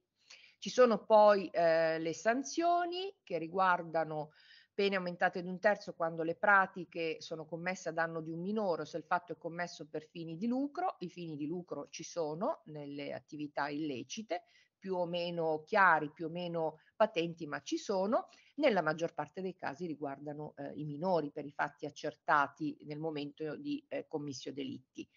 E, mh, un aspetto che invece è assolutamente criticabile è la conoscenza o conoscibilità della minore età da parte del reo. Beh, chi si appresta a compiere un'attività, se anche si tratta di un'attività potenzialmente o necessariamente illecita come nella fattispecie, ha dinanzi a sé la possibilità di conoscere con determinatezza l'età eh, del soggetto e quindi anche questa eh, velata censura alla nostra eh, legge eh, penale è comunque decaduta istantaneamente, quindi chi non si accerta dell'età affettiva del soggetto eh, ricade nell'incremento di un terzo della pena. Avanti. E vi sono poi, eh, questo è l'aspetto rilevante, eh, le sanzioni contro esercenti professione sanitaria per questi delitti. Si prevedeva eh, la comunicazione all'ordine dei medici chirurghi e degli odontoiatri, eh, ma eh, ovviamente nulla vieta, anzi che nella nuova riorganizzazione degli ordini e collegi professionali che riguardano per esempio tutte le professioni sanitarie a diretto contatto col pubblico, ehm, ci sia la previsione pressoché ovvia di un trasferimento di questa nota eh, di sentenza penale o anche nella fase di accertamento eh, del fatto al collegio di riferimento delle professioni sanitarie. Quindi eh, andiamo avanti, eh, andiamo all'ultima eh, diapositiva. Per le questioni commesse all'estero vi è la possibilità attraverso l'intervento diretto del Ministro di Grazia e Giustizia di sanzionare penalmente questi interventi quindi volendo trarre le conclusioni sotto un profilo che più che giuridico è proprio medico-legale per le attività che eh, in contesti specifici di accertamento medico-legale si possono svolgere, si può trarre rispetto alla questione della mutilazione genitale femminile. I valori in gioco, che sono sempre il punto di coerenza e di riferimento per la nostra valutazione, che è una valutazione terza per definizione, la valutazione medico-legale è sempre terza e deve essere sempre terza, eh, è il valore della libertà e della dignità della persona. Così con questa cornice di riferimento noi non ci discostiamo e abbiamo, come dire, eh, un punto fermo, una stella polare dalla quale non dobbiamo mai eh, difettare. La tutela della mera integrità fisica nella prospettiva della cura e della prevenzione sanitaria è un obbligo, ma diviene un obbligo anche il riferimento al concetto proprio di lesione personale che è mh, riduzione eh, dell'integrità psicofisica della persona.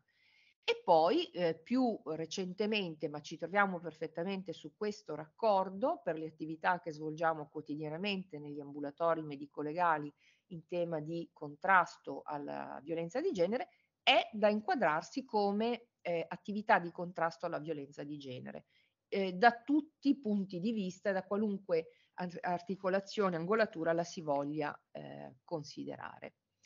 Ebbene, eh, io ho finito, grazie e poi aspetto le vostre domande.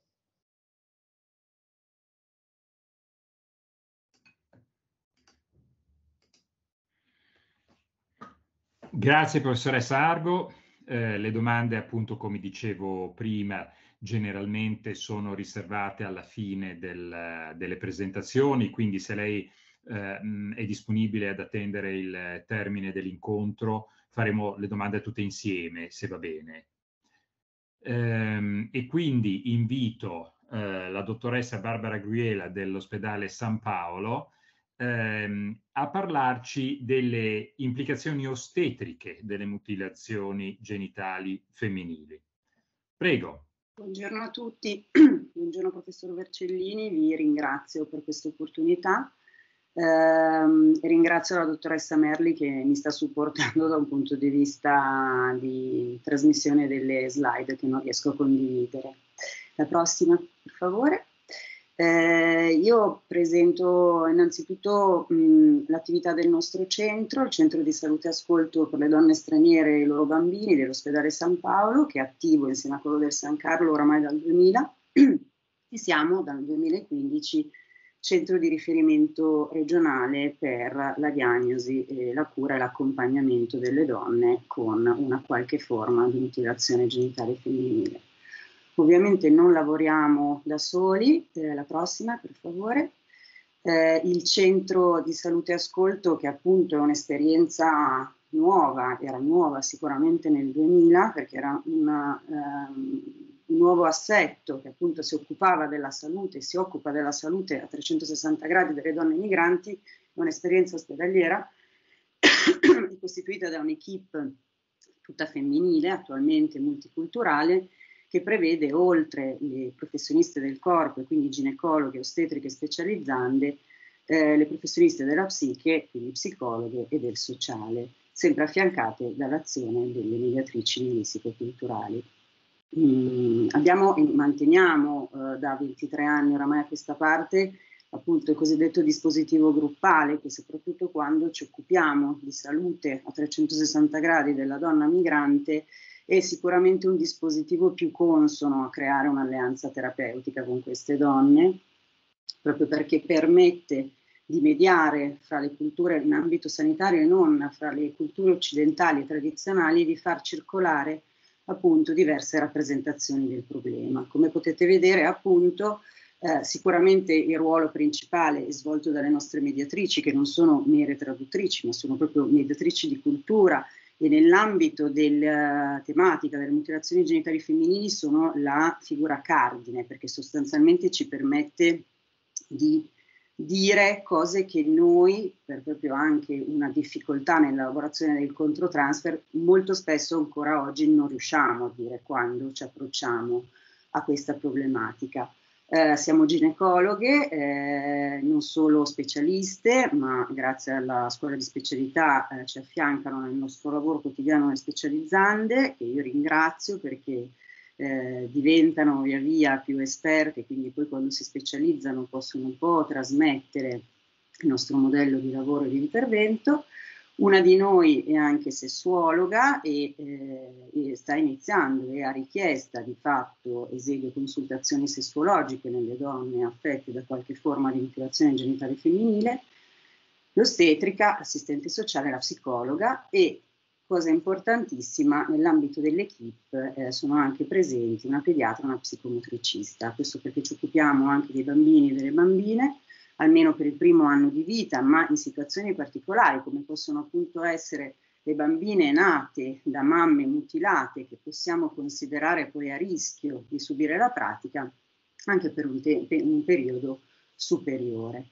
Eh, siamo all'interno di un ospedale, ma ovviamente non lavoriamo da soli, abbiamo imparato che quando ci approcciamo alla tematica delle mutilazioni genitali femminili eh, l'unione fa la forza, per cui ci siamo aperti tantissimo ai consultori, dove abbiamo cercato, anche grazie alla presenza delle eh, mediatrici, di eh, trasmettere, di condividere un po' la nostra eh, metodologia di lavoro. Eh, collaboriamo con altre strutture ospedaliere e ringrazio voi e ringrazio il dottor Brambilla che, con cui abbiamo iniziato una forma di collaborazione proprio per permettere alle donne mutilate che si approcciano non solo alla semplice deinfibulazione, ma anche a un discorso ricostruttivo di avere ovviamente eh, l'intervento e la procedura più adeguata. È difficile lavorare in gruppo, eh, è faticoso, ma crediamo ancora eh, in questo modello che oramai non si può più considerare un modello sperimentale. La prossima, per favore. Questi sono i nostri dati che sostanzialmente ci dimostrano che eh, sì, siamo un centro di riferimento, ma eh, i dati sono abbastanza significativi rispetto alla prevalenza di mutilazione. Eh, noi seguiamo ogni anno, prendiamo in carico un numero compreso fra i 350 e i 550 nuove donne l'anno. Quest'anno è il primo anno, il 2022, dove siamo ritornati a crescere con più di 550 donne, 551 dopo effettivamente una lieve riduzione legata sostanzialmente alla pandemia. Come possiamo osservare in un periodo ampio che va tra il 2010 e il 2021, il 50% delle donne afferenti al nostro servizio provengono da paesi a tradizione mutilatoria e nel 36% di queste donne è stata identificata una qualche forma di mutilazione genitale femminile. Eh, di queste, il 60% di queste mutilazioni individuate sono di tipo incisorio, quindi di tipo 1 e di tipo 2. Io non vi ho riportato la classificazione perché pensavo di venire dopo la dottoressa Abdul Kadir, per cui non volevo eh, ripetere. Ad ogni modo, secondo la classificazione eh, dell'Organizzazione Mondiale della Sanità sulle mutilazioni genitali femminili del 95, si identificano quattro tipi di mutilazioni.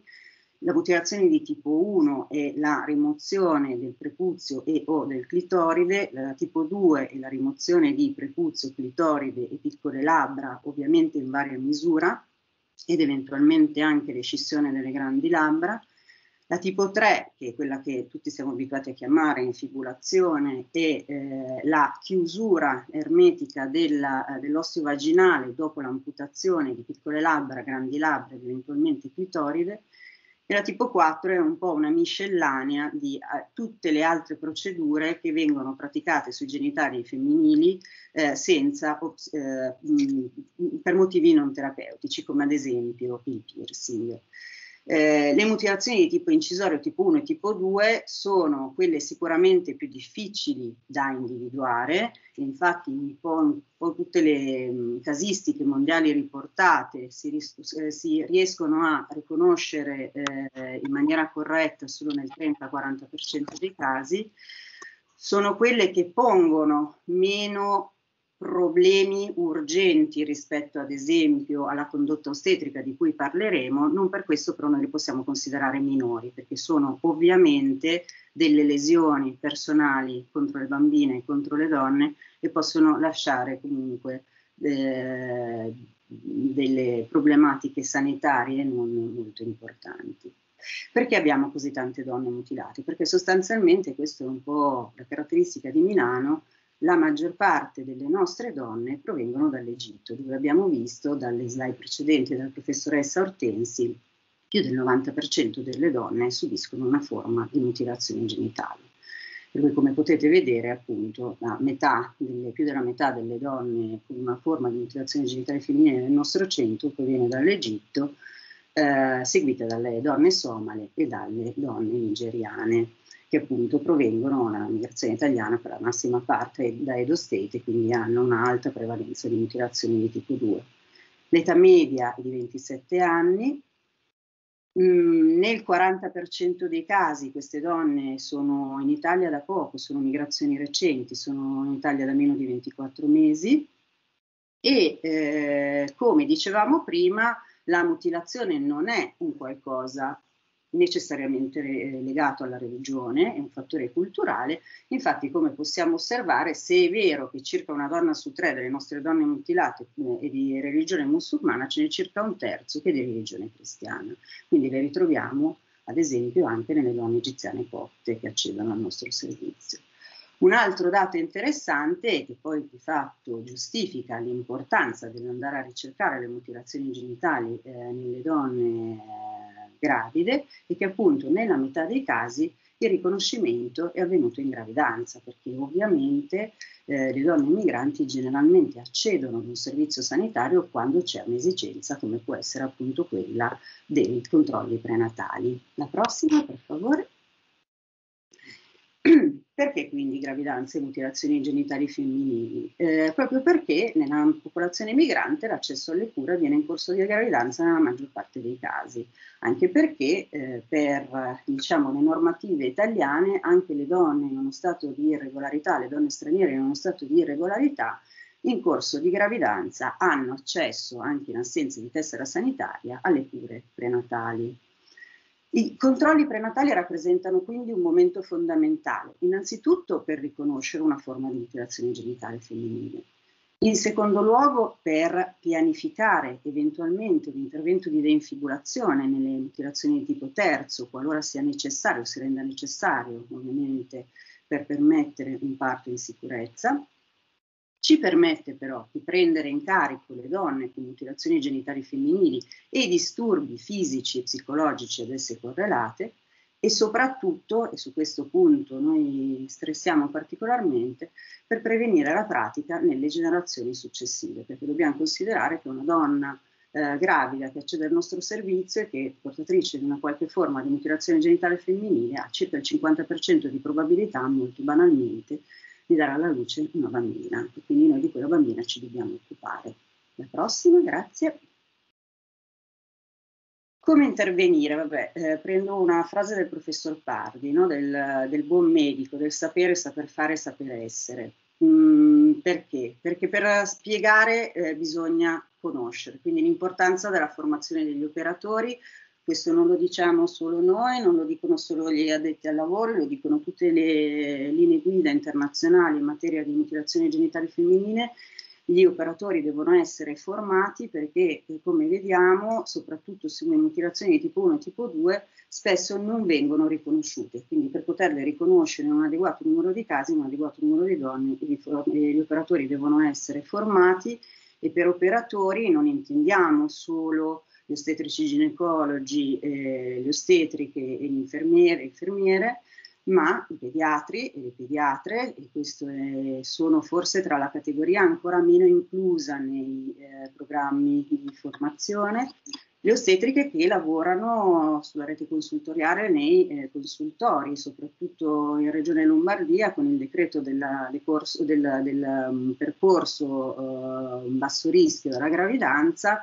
le donne vengono seguite dalle ostetriche, quindi le ostetriche devono essere adeguatamente formate per poter eh, identificare correttamente le mutilazioni genitali. Per spiegare bisogna farsi capire, quindi l'importanza della mediazione linguistico-culturale. La mediazione linguistico-culturale non è solo farsi capire da un punto di vista verbale e semantico e utilizzare appunto, come dicevamo, le parole corrette e avere una trasmettitrice, mediatrice di cultura che ci permette un po' di avvicinarci ad una cultura altra che in tema di mutilazioni genitali femminili noi facciamo molta fatica a comprendere ancora oggi.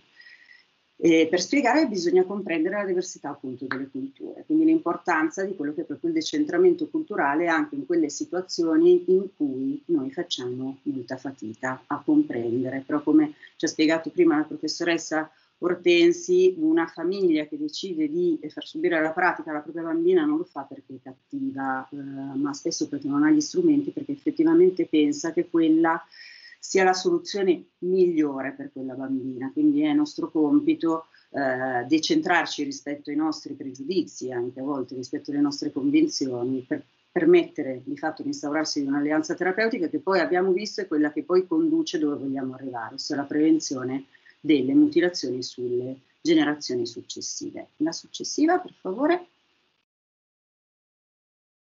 E questa è un po' la nostra strategia di intervento, eh, appunto, e questo è quello che poi viene riportato, come vedremo in tutte le linee guida internazionali, no? il dialogo aperto, non giudicante, la formazione e l'aggiornamento, e mantenere il più possibile una posizione neutrale e giudicante. Io non dico che sia facile, c'è molte nostre supervisioni anche con le psicologhe rispetto a determinati casi ci sono servite anche proprio per elaborare il incontro transfer. La prossima, per favore.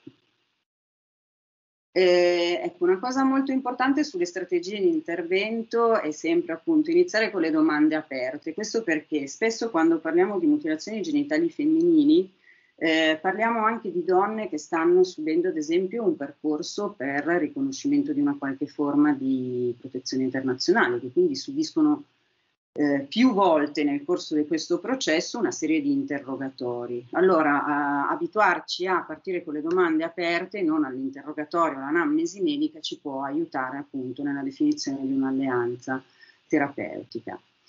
Eh, chiedere l'opinione dei membri della famiglia rispetto alle mutilazioni. Questo è importante perché eh, la donna eh, non è la donna che decide. Eh, la eh, decisione se far subire la pratica alle proprie bambine è una decisione della famiglia, è una decisione in realtà neanche dei mariti, ma generalmente della suocera, no? della, nonna mater- della nonna paterna e quindi è importante anche da parte nostra cercare appunto di valutare quelle che sono le possibili pressioni e includere nel ragionamento, nel percorso anche gli altri familiari.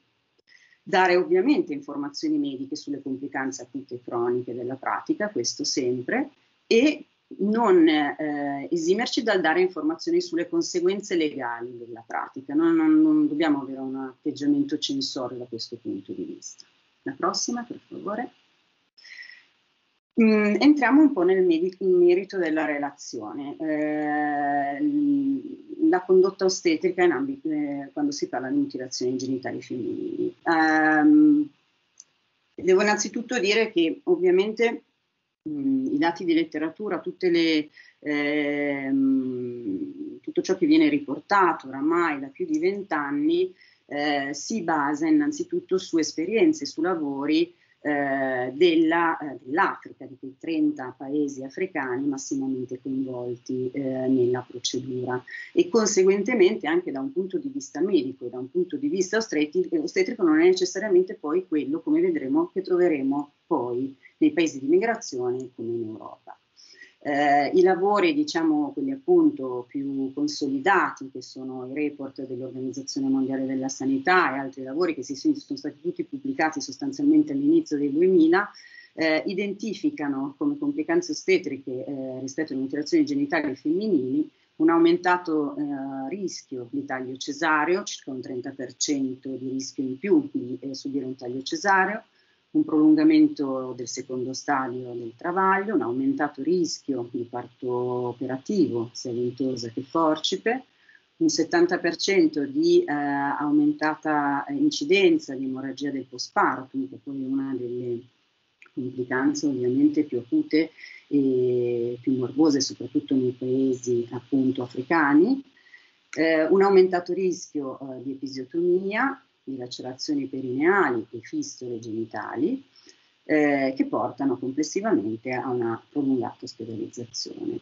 Per quanto riguarda invece il versante fetale è stato, e neonatale, è stato identificato un maggior rischio di morte endouterina fetale e di morte neonatale, perinatale, un aumentato rischio di basso punteggio di Apgar alla nascita e un aumentato rischio di rianimazione neonatale con ricovero in terapia intensiva neonatale. Ovviamente tutte queste complicanze mediche eh, sono eh, direttamente correlate a quella che è la fibrosi conseguente all'intervento di eh, mutilazione che provoca proprio non solo una chiusura ma anche proprio una modificazione del tessuto perineale che conseguentemente eh, è responsabile delle complicanze. Se noi invece andiamo eh, invece però a vedere cosa succede nei paesi di migrazione come l'Europa, le cose un po' cambiano. Questo è un uh, lavoro francese, ovviamente la Francia è molto attiva uh, sulla tematica delle mutilazioni genitali femminili perché accolgono moltissime donne provenienti da paesi a tradizione mutilatoria e a tradizione infibulatoria. È un uh, lavoro del 2020, è una review e una meta-analisi che sostanzialmente analizza moltissimi lavori pubblicati eh, sia eh, con dati dell'Africa e dei paesi a tradizione mutilatoria sia di quello che succede in Europa. Quindi sostanzialmente considera i differenti setting, paesi africani e paesi europei, le differenti caratteristiche materne e i diversi centri di assistenza e conclude che malgrado eh, vi sia un aumentato rischio nelle donne con mutilazioni genitali femminili di, come abbiamo detto, taglio cesareo, parti operativi, emorragia del postpartum, se si vanno a scorporare i dati africani dai dati europei, quello che possiamo osservare ad esempio è che abbiamo sì un aumentato rischio di taglio cesareo, ma solo nelle primipare. Questo è abbastanza intuitivo perché, perché eh, le donne che hanno mh, portatrici di una qualche forma di una mutilazione genitale femminile che hanno già partorito è difficile che abbiano una mutilazione che provochi una uh, intensa fibrosi o una comunque chiusura dell'osseo vaginale che impedisca il parto o ne aumenti le eh, complicanze. Idem eh, il parto operativo sia con ventosa che forcipe e sì ehm, più eh, frequente nelle donne mutilate, ma solo nei paesi africani e non in Europa, perché in Europa sostanzialmente si è più attivi nel riconoscere la forma di mutilazione e nel procedere all'intervento infibulatorio qualora sia necessario per rendere sicuro il parto. Idem per, per quanto riguarda l'emorragia del postpartum, dove l'aumentato rischio c'è solo nei paesi africani, non in Europa, mentre è importante eh, vedere come invece il ricorso all'episiotomia eh, sia più eh, frequente, significativamente più frequente, solo nei paesi europei. E questo perché? Perché, e, e soprattutto nei centri di riferimento, perché questo ce lo dicono proprio le linee guida che eh, quando si assiste a un parto vaginale di una donna con una mutilazione genitale di, ovviamente di terzo tipo, questi sono tutti i dati che si riferiscono all'infibulazione, alla vulgarmente detta infibulazione, eh, e proprio pratica assistenziale eh, procedere più frequentemente all'episotomia paramiliana per permettere un più agevole disimpegno della testa fetale e ridurre i rischi di lacerazioni. Rischi di lacerazioni che si osservano in maniera significativa solo nelle donne di basso livello socioculturale, questo sia in, Europa che in Africa, e questo è direttamente correlato all'accessibilità alle cure, quindi alla mancanza alle cure prenatali, e nei centri non formati, adeguatamente formati per mutilazioni genitali femminili. Eh, nei paesi africani, ma non in quelli europei, c'è un aumentato rischio sia di aborto che di, monde, di morte endouterina, mentre invece eh, per quanto riguarda il versante neonatale si osserva una, uh, riduzione, del, una um, riduzione dell'acqua inferiore a 7, a 7 a 5 minuti, vi è una tendenza positiva ma che non raggiunge la significatività. Questo perché sono pochi gli studi in realtà che eh, prendono in considerazione questo parametro.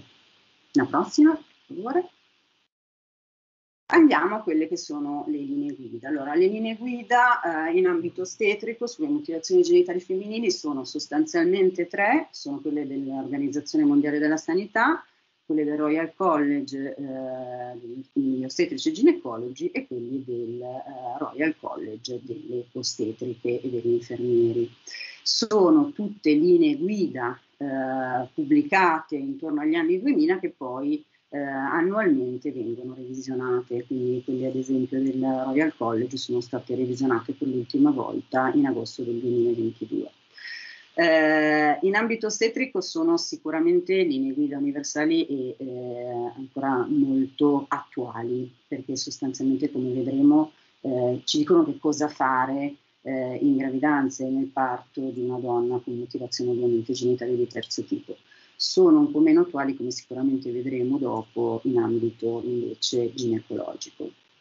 Per quanto riguarda la, eh, le linee guida, eh, la precedente per favore, eh, dell'Organizzazione Mondiale eh, della Sanità, eh, appunto, è una raccomandazione di primo tipo che appunto la deinfibulazione, quindi l'intervento di risoluzione di una mutilazione di terzo tipo, è raccomandata ed è fortemente raccomandata eh, per le donne gravide per prevenire le possibili complicanze ostetriche al parto, quindi per ridurre in maniera significativa il rischio di un taglio cesareo, di un parto operativo, di un'energia del postpartum e di lacerazioni perineali.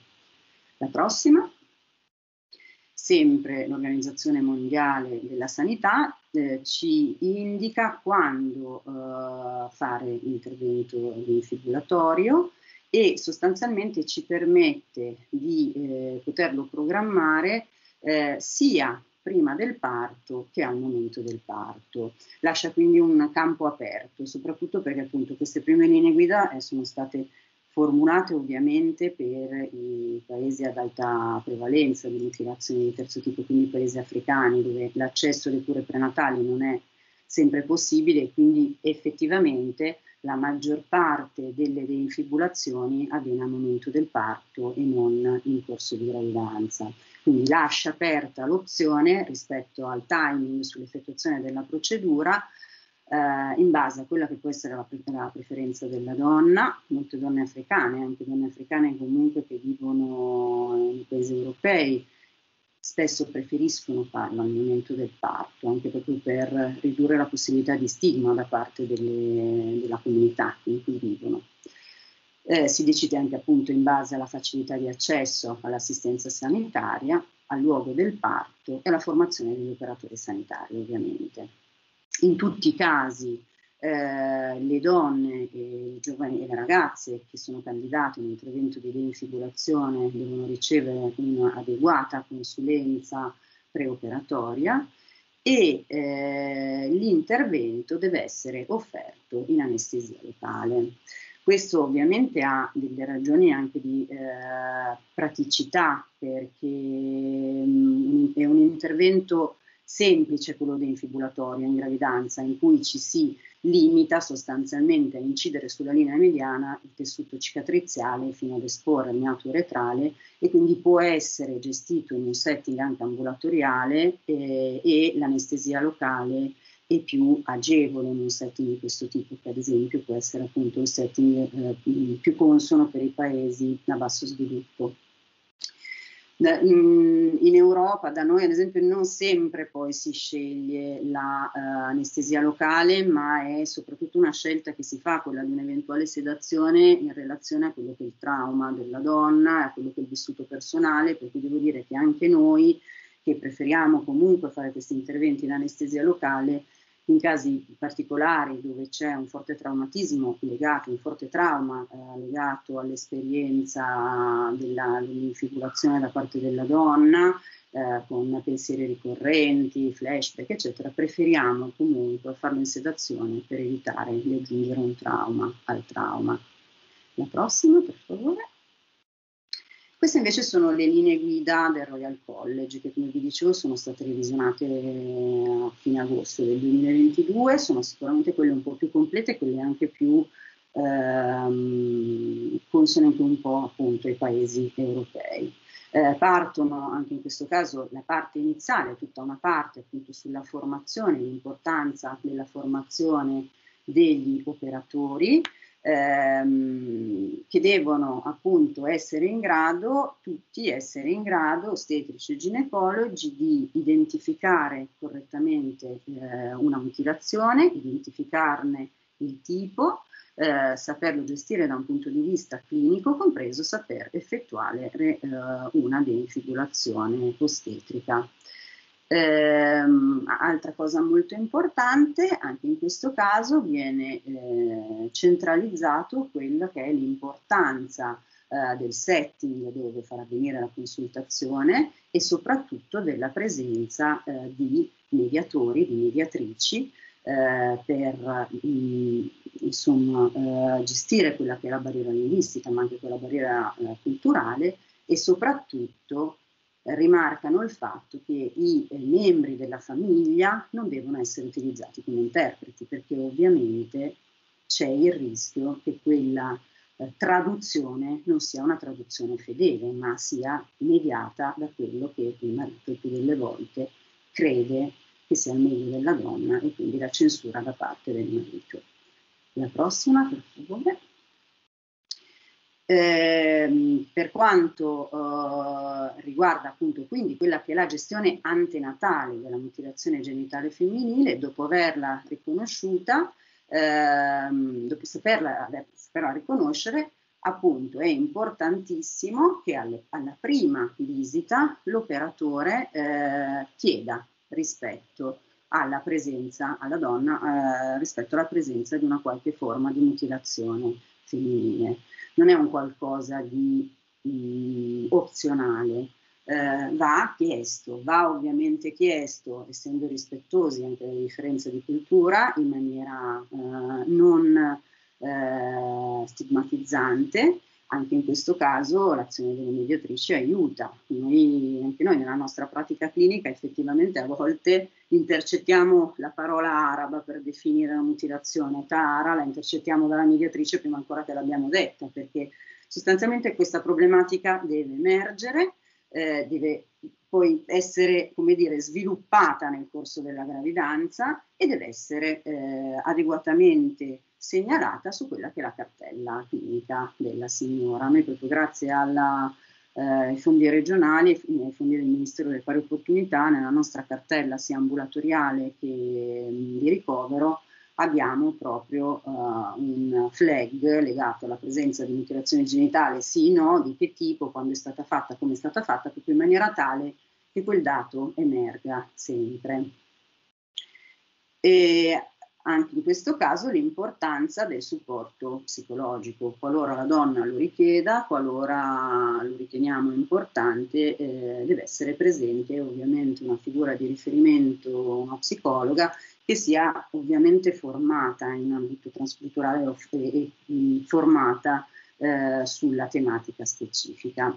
La prossima, per favore. Ehm, la visita, la visita ostetrica eh, dà linee guida anche sul basso rischio, solo che sostanzialmente si visita sempre di meno. Ecco, prendiamoci invece il tempo quando sappiamo di essere davanti a una donna proveniente da un paese a tradizione mutilatoria che magari non ci dice che ha subito la pratica quando noi lo chiediamo, prendiamoci il momento della visita, effettivamente per identificare la mutilazione, che magari lei ha taciuto, e di fronte a una mutilazione di tipo terzo per valutare se eh, l'introito vaginale eh, è sufficientemente eh, ampio e eh, il meato retrale visibile e per identificare quindi quelle donne in cui eh, un intervento di infibulazione è necessario. Eh, sul timing, sul quando mh, fare la procedura, anche in questo caso il Royal College non si esprime in maniera univoca, ovvero ci dice ovviamente che la procedura di defibulazione nei casi cui la rendono necessaria sarebbe meglio farla prima di una gravidanza eh, o comunque eh, prima del travaglio, quindi sostanzialmente entro la ventesima settimana di gestazione anche in questo caso raccomanda come prima scelta eh, un'anestesia locale, eh, ma apre anche alla possibilità, rispetto alle preferenze della donna quello che è il setting anche clinico, di poter poi procedere invece all'apertura o durante la prima fase del travaglio o al parto. Ci dice anche che in quelle donne in cui si rende necessario un taglio cesareo urgente, dobbiamo poi sempre anche valutare la possibilità di procedere subito dopo il cesareo a una defibulazione. Importantissimo, le donne devono essere informate da subito che la reinfibulazione non è possibile dopo il parto. La prossima. eh, questo è quello che sostanzialmente vi ho già detto. Eh, la prossima. E ovviamente in tutti quei casi in cui si deve procedere a una deinfibulazione durante il travaglio, eh, andremo a fare l'intervento di deinfibulazione nella prima fase del travaglio, quindi nella fase dilatante, in tutti quei casi in cui eh, non è possibile eh, procedere a un'esplorazione vaginale per quelle che sono le caratteristiche del, dell'osteo vaginale oppure a una cateterizzazione ureterale, uretrale e quindi andremo a fare la defibulazione nella fase dilatante, ovviamente ehm, con un'adeguata analgesia, un'analgesia epidurale, mentre invece qualora eh, le caratteristiche dell'osteo vaginale lo permettano, si può anche poi invece procedere alla defibulazione direttamente al momento nella fase espulsiva eh, quando eh, la eh, testa fetale corona sostanzialmente. Anche in questo caso la decisione dell'episiotomia dipende dall'ostetrica e viene eseguita tutte le volte in cui le caratteristiche dei tessuti perineali lo rendono necessario. La prossima. La tecnica è sostanzialmente, indipendentemente dal momento in cui si fa in gravidanza, la tecnica è analoga, l'unica differenza, quindi si incide sulla linea mediana, l'unica differenza è che quando viene eseguita proprio in fase espulsiva a coronamento della testa fetale non si utilizzano le forbici, eh, cioè non si utilizza, scusate, il bisturi, ma si utilizzano le forbici, ovviamente sempre l'analgesia locale. La prossima, per favore. Queste sono uh, le linee guida invece del Royal College of Nursing, che sono sostanzialmente eh, uguali rispetto alla necessità dell'intervento di deinfibulazione, al quando farlo, eh, sono analoghe a quelle dell'Organizzazione Mondiale della Sanità, quelle del Royal College. Eh, anche in questo caso l'importanza della mediazione linguistico-culturale, eh, l'importanza della visita, l'importanza dell'identificazione precoce. La prossima, per favore. Ehm, anche sui timing sono assolutamente sovrapponibili e, e anche sul ricorso all'episiotomia. Eh, la prossima.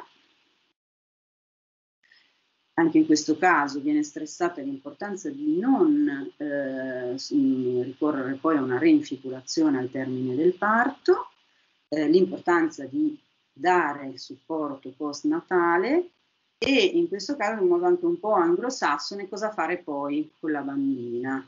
Eh, in Inghilterra c'è proprio anche un sistema di notifica sostanzialmente ai medici di medicina generale rispetto all'avvenuto parto di una bambina eh, in una donna portatrice di una mutilazione genitale femminile. La prossima. Io con questo concludo ehm, e concludo dicendovi che appunto eh, rispetto alla tematica noi non dobbiamo abbandonare quelli che sono gli interventi comunicativi attivi. Eh, perché soprattutto appunto come diciamo nel processo di migrazione c'è un fisiologico e perfetto eh, azione di meticciamento, ossia la donna pur con le proprie difficoltà entra eh, in contatto con una cultura altra e quindi prende anche nuove consapevolezze. E quindi dobbiamo eh, in realtà sostenere quelli che sono proprio i buoni propositi delle madri a non raccomandare la pratica alle giovani figlie e eh, è stato osservato anche dai nostri dati eh, che dopo due anni di formazione delle donne ma anche degli uomini delle comunità si ha una riduzione dei nuovi casi di mutilazioni genitali femminili in quella fascia d'età 5-10 anni che è quella dove massimamente vengono poi praticate le mutilazioni nella maggior parte delle culture. Grazie.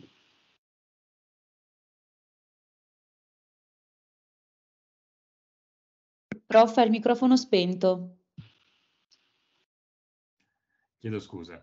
Eh, eh, ringrazio la dottoressa Gruela e eh, se è in linea la dottoressa Jasmine Abdul Kadir. Sì, sì, ci sono.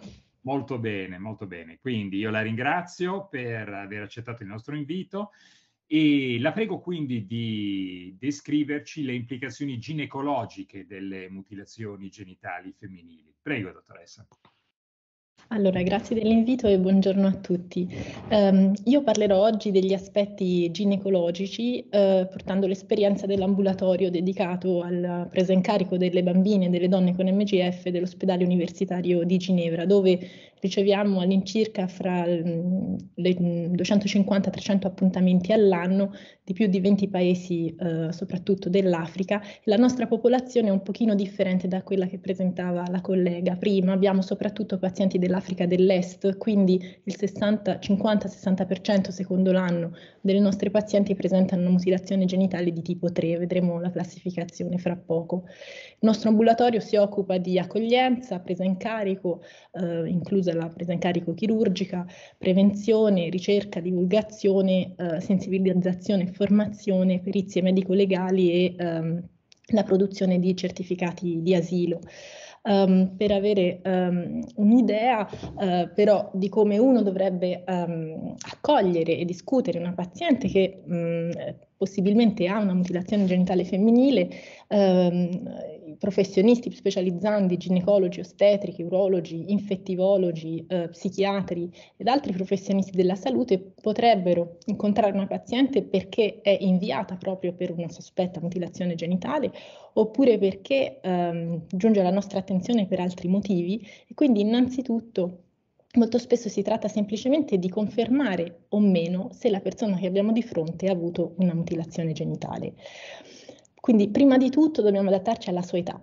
Um, possiamo, ci dobbiamo adattare all'età della paziente di cui abbiamo di fronte, se è una bambina, un adolescente, una donna, quindi ottenere sempre il suo consenso e rinnovare questo consenso durante l'anamnesi e durante l'esame adattare il lettino che usiamo, la posizione, se la bambina è in braccio alla sua mamma, eh, il linguaggio che utilizziamo e come effettuiamo l'esame. Ed utilizzare sempre un approccio eh, che in inglese viene chiamato trauma informed e survivor centered, quindi a garantire uno spazio sicuro, ehm, la privacy anche quando utilizziamo un interprete o una mediatrice e un esame interno è raramente necessario per confermare e valutare una mutilazione genitale. Quindi, ad esempio, se esaminiamo una bambina, eh, è sufficiente fare una trazione a 45 gradi sulle labbra esterne e, fa fare attenzione a eh, ben... C'è qualcuno che un microfono acceso? Okay. e eh, fare attenzione soprattutto alla regione del clitoride che noi stessi ginecologi molto spesso non abbiamo l'abitudine di esaminare. Allora, un, piccolo uh, ripasso dell'anatomia della vulva e del clitoride. Il clitoride, come ben sappiamo, è uh, l'organo embriologicamente omologo al pene e si costituisce di un glande, uh, un corpo che curva sotto la sinfisi pubica a livello del gomito o del ginocchio per poi continuare nei tessuti cavernosi che sono le crura. I bulbi sono dei tessuti spongiosi, i tessuti spongiosi e i tessuti cavernosi, entrambi i tessuti tumescenti, comunicano fra di loro attraverso dei plessi soprattutto venosi a livello della commissura e della parte intermedia. La parte che viene interessata dal taglio durante la mutilazione, alcune forme di mutilazione genitale, è il glande più o meno una parte del corpo e molto spesso avviene anche una retrazione cicatriziale, oltre ad altre complicanze che vedremo dopo, che fa sì che il corpo del clitoride che palpiamo sotto la cicatrice di quelle mutilazioni che um, Um, hanno comportato un'escissione del clitoride si trova molto spesso a, una distanza superiore da quella fisiologica uh, dell'uretra. Quindi già è importante conoscere sia nel momento prepubere e postpubere la variazione fisiologica dell'anatomia clitoridea. Queste sono tutte foto di vulve senza mutilazione genitale. Nella bambina ci può, prepubere ci può essere una sorta di fimusi clitoridea fisiologica che non va confusa con una mutilazione genitale femminile. Queste sono foto senza mutilazione genitale. Quindi nella minore, quando facciamo un esame ginecologico, soprattutto in caso di dubbio di mutilazione genitale, bisogna fare attenzione a non confondere delle labbra interne o piccole labbra piccoline perché ancora non c'è stata estrogenizzazione e, e um, bisogna affidarsi a un esperto, un ginecologo dell'infanzia, un ginecologo che, con, che esamina all'anno molti pazienti eventualmente con mutilazione genitale per um, non fare errori. E a volte anche l'esperto uh, che lavora col pediatra col, pediatra del, o col ginecologo del pediatrico e dell'adolescenza ci possono essere dubbi o disaccordi. Attenzione inoltre alle diagnosi differenziali, appunto di nuovo nelle pazienti prepuberi, condivido alcune esperienze del nostro ambulatorio, per esempio ehm, dubbi su diagnosi differenziali in caso di lesioni da grattamento in, in pazienti giovani con lichen scleroso, traumi da caduta e soprattutto gli ultimi casi sono stati due casi in cui in realtà c'era un'epispadia, quindi il pediatra che aveva esaminato la bambina eh, proveniente da paese considerato a rischio eh, di mutilazione genitale eh, aveva confuso questa sorta di assenza di glande eh, con una probabile mutilazione genitale, quando in realtà, vedete, eh, ci sono due, emi, due emiclitoridi eh, quindi qui stavo dicendo prima come si esamina, eh, potete passare alla seguente. Qui ho descritto l'anatomia del clitoride e qui facevo vedere le varianti fisiologiche senza mutilazione genitale, con diversi colori di pelle. Potete passare alla seguente ancora la seguente, ecco le diagnosi differenziali, ancora la seguente, quindi in alto a destra è l'esempio di epispadia e in basso a destra vedete un altro esempio, gli ultimi tre casi che ci hanno inviato al nostro ambulatorio erano delle, una semplice sinechia delle piccole labbra e assolutamente non un'infibulazione eh, frequente appunto nella bambina prepubere. Potete passare alla seguente. Um, allora, a volte è sufficiente pensare semplicemente all'origine etnica del paziente. Um, questo è un caso, un altro caso di paziente che ci hanno inviato um, con sospetta infibulazione. Già chiedendo ai genitori la loro origine etnica, non semplicemente il paese, quindi Senegal, ma l'origine Wolof, e sapendo che né il padre né la madre appartengono ad un gruppo etnico che pratica la mutilazione genitale, questo ci può aiutare nella nostra riflessione diagnostica. Il piccolo orifizio poi vedete che um, è verso um, il perineo anteriore e non verso la forchetta, questo anche ci può aiutare a capire che non è un'infibulazione, ma quando si ha un dubbio basta dare il trattamento estrogenico locale, vedete come questa bambina evolve nelle due settimane, nel mese successivo, con un'anatomia completamente fisiologica a livello delle labbra, del prepuzio e del glande. La prossima. Quindi um, innanzitutto pensare ai paesi, questo avete visto durante la prima presentazione, conoscere i paesi ad alta, bassa prevalenza, avere un'idea sul fatto che ci sono differenze fra i diversi gruppi etnici, cominciare dall'anamnesi, sapere chiedere, prima ancora di esaminare, soprattutto perché ci sono dei tipi difficili da riconoscere e delle diagnosi differenziali che vanno anche riconosciute perché vanno anche trattate e spiegate. Se la mutilazione genitale viene confermata, a quel punto si tratterà di capire se la paziente è sintomatica, se è cosciente del suo sintomo, del legame fra il sintomo e eventualmente la mutilazione genitale o se il sintomo è dovuto ad altre patologie o ad altre condizioni e poi valutare se c'è un'indicazione a un trattamento medico, chirurgico, psicosessuale, eccetera. Potete anche incontrare pazienti in cui dovete um, eh, riferire la paziente per um, una perizia medico-legale oppure per un certificato di asilo. La prossima. Allora, questa è un, una pubblicazione dove le foto sono disponibili e sono diffuse col consenso delle pazienti. La prossima, vediamo brevemente la classificazione. Eh, come diceva la collega, la, l'Organizzazione Mondiale della Sanità ha descritto una classificazione nel 1995, l'ha aggiornata nel 2007 e ancora, finalmente l'anno scorso, finalmente ha corretto il termine famoso di clitoridectomia. Non esiste la clitoridectomia in caso di mutilazione genitale femminile. Il primo tipo consiste nell'ablazione parziale o totale del prepuzio, sia un tipo 1A, e del glande o parte del corpo del clitori del tipo 1B. Sono tipi questi a volte difficili da, da vedere, soprattutto se uno non guarda la vulva, non guarda il, la zona clitoridea, a volte si può avere un'impressione di piccola simmetria a livello del prepuzio, si possono intravedere delle piccole aderenze fra il prepuzio e il glande. Um, il tipo 2 invece è l'escissione, quindi l'escissione de delle labbra interne, il tipo 2A, delle labbra interne e del clitoride, il tipo 2B, e delle labbra interne, esterne e del clitoride, il tipo 2C. Ci sono delle varianti poi che si trovano fra due tipi o sottotipi, per esempio a volte può essere solamente il prepuzio che è stato toccato, ma anche le labbra interne ed esterne. È vero che questa classificazione ci serve a volte per descrivere senza necessariamente coprire tutte le varianti esistenti, la seguente. E poi c'è l'infibulazione, seguente. L'infibulazione è uh, la, la, chiusura del, del vestibolo, quindi de, della copertura attraverso un ponte cicatriziale uh, dell'orifizio vaginale, uh, del meato urinario, con o senza escissione del clitoride. Il clitoride può essere o meno eh, scisso e quindi può essere o meno ritrovato intatto quando si fa la deinfibulazione o a volte anche parzialmente intatto. Um, L'infibulazione anche eh, può essere variabile, potete avere, come vedete in alto, del, dei ponti cicatriziali più fini, più spessi, a volte sono le piccole e le grandi labbra, entrambe che sono state suturate. L'orifizio residuale può essere più o meno grande anche in base al fatto se la paziente è già sessualmente attiva o meno. E a volte ci possono essere diversi orifizi. Questo causa molti sintomi urinari alle pazienti che si lamentano a volte di un'urina a pioggia um, per esempio le popolazioni musulmane, questa è una delle ragioni di, um, di decisione di venire all'ambulatorio per il fatto di doversi spesso lavare prima della preghiera um, perché durante uh, la minzione questa urina esce a pioggia e bagna per esempio le gambe. La seguente.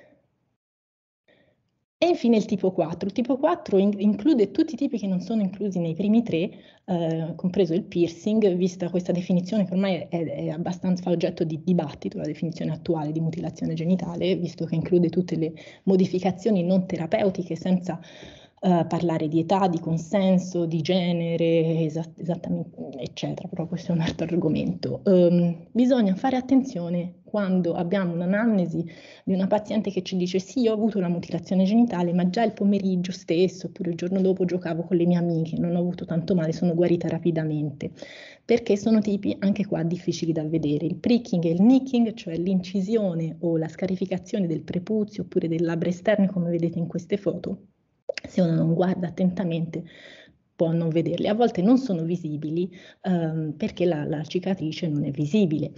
Esiste poi anche lo stretching delle piccole labbra, nella nostra esperienza abbiamo pochi pazienti perché non è una popolazione um, numerosa a Ginevra, sono pratiche che esistono nella regione del, dei Grandi Laghi, quindi Zimbabwe, Burundi, uh, in certi confini del Congo, uh, in Ruanda, in cui si um, pratica uno stretching delle labbra interne fino ad avere delle labbra di dimensioni considerevoli um, e le credenze dietro a queste pratiche sono completamente diverse rispetto alle credenze verso le pratiche riduttive. Si pensa infatti che allungando queste labbra si aumenti la capacità di soddisfarsi sessualmente sia per la donna sia per il suo eventuale partner futuro.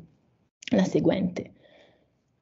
Esistono poi delle variazioni interpersonali e inter, in, nella stessa persona. Questo è solo un esempio di questa paziente, per esempio, a fine gravidanza nel terzo trimestre con delle varici vulvarie prima della deinfibulazione e il controllo otto settimane dopo, dopo una deinfibulazione parziale, una paziente che voleva un'apertura minima um, che esponesse solo il meato urinario e um, la risoluzione della, delle sue varici. Quindi una stessa paziente anche durante l'anamnesi ci può dire sì, prima ero chiusa, poi ho partorito, eh, non sono più chiusa.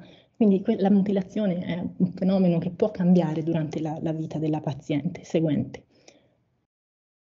Abbiamo visto che alcuni tipi di mutilazione ehm, includono un'escissione del clitoride, altri no. Quando c'è un'escissione del clitoride, vedete qui a sinistra ehm, una foto, una risonanza magnetica e una ricostruzione tridimensionale che è stata fatta non in ambito diagnostico ma in ambito di ricerca, eh, quindi una ricostruzione 3D dell'anatomia clitoridea senza e con mutilazione genitale che ha escissione del clitoride. Come dicevo prima, vedete che c'è questa parte eh, visibile del glande, più o meno una parte del corpo questa ret- eh, che manca, con questa retrazione cicatriziale.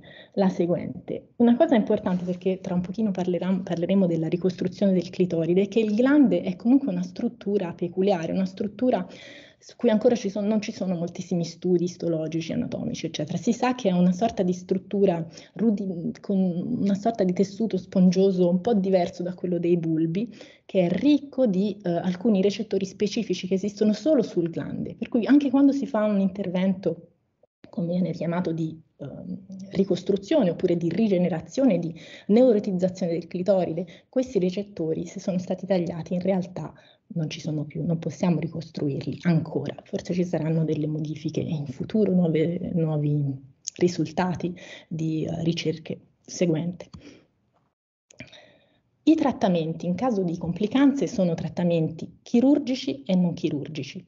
I trattamenti non chirurgici includono innanzitutto l'accoglienza, l'informazione e un'educazione alla salute, l'esplorazione dei miti, delle credenze che la paziente ha sulla sua anatomia, sulla sua fisiologia, sulla maniera in cui per esempio fa pipì, sulle sue mestruazioni, sulla risposta sessuale, perché tante sono le credenze um, che pervadono le differenze culture e le differenti pazienti. Um, la, naturalmente la rieducazione del, del, pavimento pelvico, la terapia psicosessuale, il trattamento, lo screening e il trattamento di altri traumi passati, terapia um, cognitivo-comportamentale, terapia di coppia, eccetera, eccetera. Quindi tutti i trattamenti che noi già conosciamo per trattare altre condizioni, anche senza mutilazione genitale. I trattamenti chirurgici includono la deinfibulazione, il trattamento delle complicanze di cicatrici e la cosiddetta ricostruzione del clitoride. read him. Il trattamento delle complicanze di cicatrici include il trattamento di eventuali cheloidi, di eventuali cisti, sono soprattutto cisti epidermoidi che molto spesso sono asintomatiche, diventano sintomatiche quando raggiungono dimensioni considerevoli, quando iniziano ad infiammarsi, a fare ascessi recidivanti, attenzione perché molto spesso vediamo quando il paziente arriva in ambulatorio specialistico e ci racconta di aver avuto 3, 4, 5 drenaggi di ascessi paraclitoridei senza che nessuno le abbia proposto una cistectomia, che è quello che risolverà i suoi sintomi di ascessi recidivanti. Um, briglie cicatriziali che possono essere sintomatiche quando si mettono sotto tensione durante i rapporti penetrativi, la fimosi del clitoride, anche questa nella nostra esperienza è un, una forma di complicanza, a volte causa questo accumulo di smegma con eh, pseudocisti, infiammazione, pazienti che soffrono, iniziano a soffrire di clitorodemia e eh, molto spesso quando vengono esaminati ma, la risposta è sì, ma è una mutilazione minima, ancora il clitoride è palpabile, probabilmente intatto sotto questa cicatrice, la correzione della fimosi può risolvere molti sintomi della paziente. La seguente. Quindi le, le complicanze, come già è stato detto precedentemente, mh, esistono complicanze immediate e tardive. Noi nei paesi cosiddetti della diaspora vediamo le complicanze tardive, non vediamo l'emorragia, lo shock, l'infezione, la ritenzione urinaria acuta, vediamo eventuali complicanze infettive, mestruali, queste complicanze della cicatrice, soprattutto associate ai tipi 2 e ai tipi 3.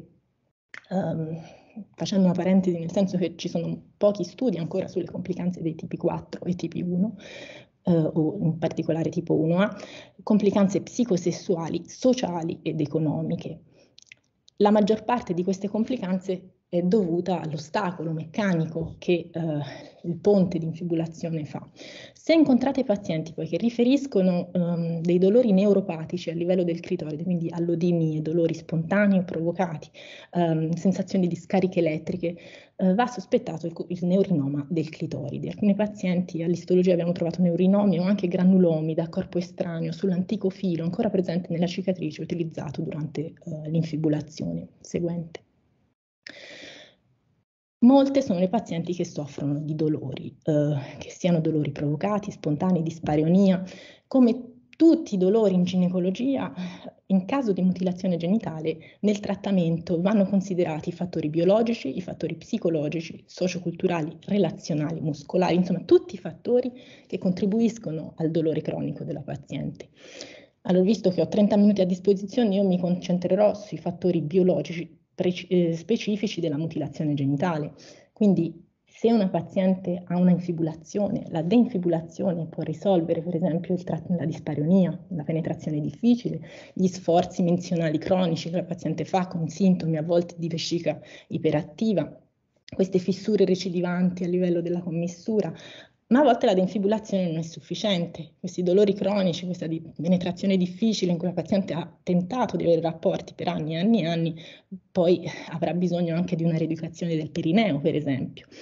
Um, possiamo trattare le briglie, la fimosi del clitoride, come dicevo, le cisti. Le cisti bisogna fare attenzione. A volte quando dicevo, quando sono asintomatiche e eh, rimuoviamo la cisti, è molto importante spiegare nel periodo preoperatorio alla paziente dove il clitoride si trova, se la cisti lo copre, perché durante i rapporti la cisti può comprimere il clitoride e facilitare la sua stimolazione, quindi facilitare l'orgasmo.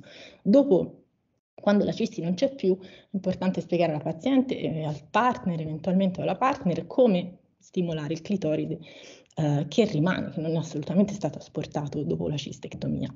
Sono poi pazienti, come abbiamo visto nella presentazione precedente, che sono a rischio di uh, trauma ostetrico e sono molto spesso pazienti multipare, grosse multipare. Uh, quindi anche qua uh, ci serviamo dell'arsenale terapeutico che conosciamo, chirurgico e non chirurgico, senza poi dimenticare, come dicevo prima, i fattori psicologici, socioculturali e relazionali e anche come l- la paziente che abbiamo di fronte reagisce al dolore. Esistono reazioni diverse al dolore che la paziente riferisce, una, una, reazione di resistenza, di evitamento, poi dei rapporti sessuali, oppure di banalizzazione, dicendo sì, questo è normale, tut, la mia mamma, le mie sorelle hanno gli stessi sintomi e a volte gli elementi culturali si mescolano, per cui quando si propone un tra- trattamento, anche semplicemente una deinfibulazione, tutto questo va tenuto in conto. Seguente. La stessa cosa per la promozione della salute psicosessuale. Uh, tutti i fattori che contribuiscono alla salute psicosessuale della nostra paziente vanno presi in conto, avendo una conoscenza delle specificità della mutilazione, dei tipi e dei sottotipi delle mutilazioni genitali femminili. Seguente. Quando facciamo una deinfibulazione, l'abbiamo visto prima, eh, la deinfibulazione è, un, è, veramente la promozione della salute della donna infibulata. È un intervento che si, viene, si, può fare durante la gravidanza, in travaglio, um, si può fare in ogni momento della vita della bambina o della donna. Per quanto riguarda le bambine non c'è ancora consensus nelle linee guida. Gli esperti, soprattutto um, del Regno Unito, che hanno più esperienza di lunga data su questa popolazione, raccomandano di, di aspettare, se la paziente è asintomatica, l'estrogenizzazione degli organi genitali e un'età a, a cui eh, la bambina può capire che cos'è l'intervento, come si fanno le cure locali, eccetera. Quindi raccomandano intorno ai 15 anni. Ma quando la bambina è sintomatica, la deinfibulazione può essere effettuata ad ogni età. Nella vita di una donna può essere appunto fatta al momento del suo matrimonio, quando comincia i rapporti sessuali, in casi di sintomi, in casi quando ce lo domanda e così via. E um, seguente. La tecnica è una tecnica semplice, tutte le ostetriche e i ginecologi, soprattutto che lavorano in sala parto, l'abbiamo visto, dovrebbero saper fare una deinfibulazione. Le accortezze sono quelle di fare attenzione a non ledere l'uretra e in qualche caso il clitoride, soprattutto se ci sono delle aderenze e non avere timore a scoprire il clitoride se la paziente è d'accordo. Perché quando si lascia questa fimosi, questa pellolina che copre il clitoride, rivediamo i pazienti a distanza del parto che hanno ripreso l'attività sessuale, molto spesso si lamentano di feritine recidivanti su questa pelle che eh, rimane, smegma che si accumula dietro ehm, questo ponte cicatriziale seguente. Questo è un, un, altro atlantino che abbiamo fatto per i nostri specializzanti per imparare a fare il counseling e a eseguire una infibulazione seguente questo magari ci proviamo dopo, era il video seguente. Ecco, come dicevo, abbiamo visto che è un intervento di per sé semplice, che si può fare in anestesia locale, locoregionale, generale, come ci diceva prima la collega, um, ma questo cambiamento semplice, che avviene in 10-15 minuti, che per noi è logico, per la paziente è un cambio enorme. Immaginate cambiare in 10-15 minuti la vostra anatomia, il colore che vedete, vedete per la prima volta il rosso o il rosa delle mucose, la maniera di fare pipì, di avere rapporti, di vedere le perdite vaginali e cambiare appunto in 10-15 minuti moltissimi valori associati all'infibulazione. I genitali chiusi sono considerati in molti gruppi etnici come genitali puliti, sexy, eh, più belli, eh, fare pipì piano senza fare rumore, goccia a goccia è considerato femminile, eh, educato, fare pipì velocemente con rumore considerato volgare, maschile e molto spesso se eh, la paziente non è ancora sposata l'infibulazione è associata alla virginità prematrimoniale che eh, ha un valore in molte culture delle pazienti che incontriamo. Quindi ci può essere il timore non solo di perdere una garanzia di sposarsi, ma una, di una garanzia di buon matrimonio anche dal punto di vista economico. Quindi l'accompagnamento preoperatorio deve um, esplorare gli eventuali timori, le credenze e um, apportare le spiegazioni uh, che la paziente ci richiede. Ci sono anche pazienti spontaneamente che vengono e chiedono l'infibulazione, ma incontrerete anche pazienti che anche di fronte a sintomi genitourinari importanti, a una penetrazione impossibile, a volte rifiutano questo trattamento e impiegano mesi, settimane, il tempo necessario per prendere la loro decisione seguente.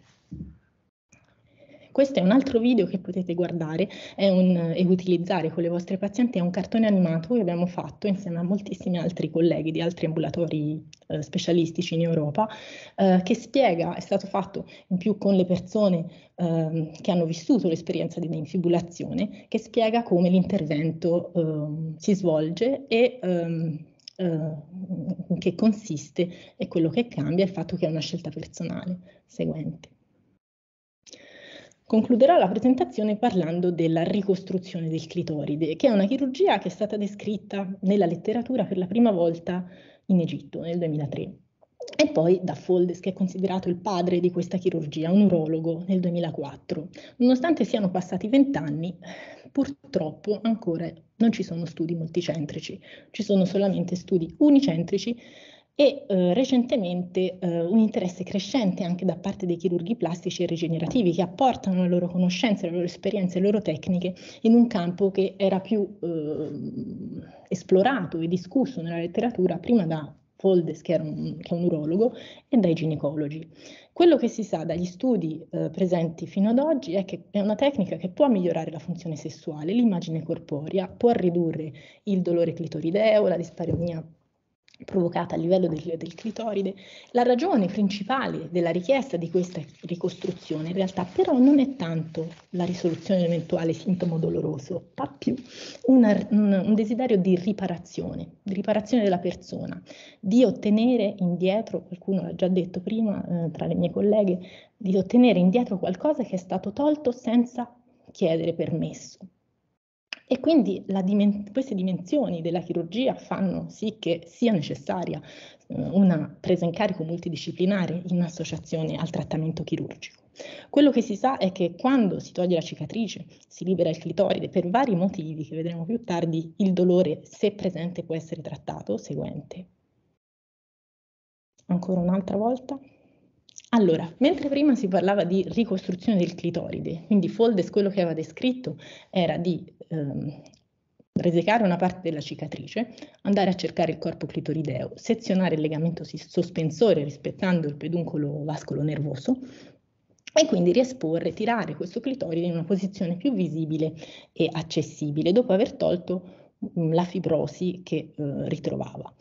Col tempo altri chirurghi, ginecologi, poi plastici, rigenerativi, hanno iniziato a parlare di trasposizione, altri di riesposizione, adesso di rigenerazione, recentemente si parla di neurotizzazione del clitoride seguente.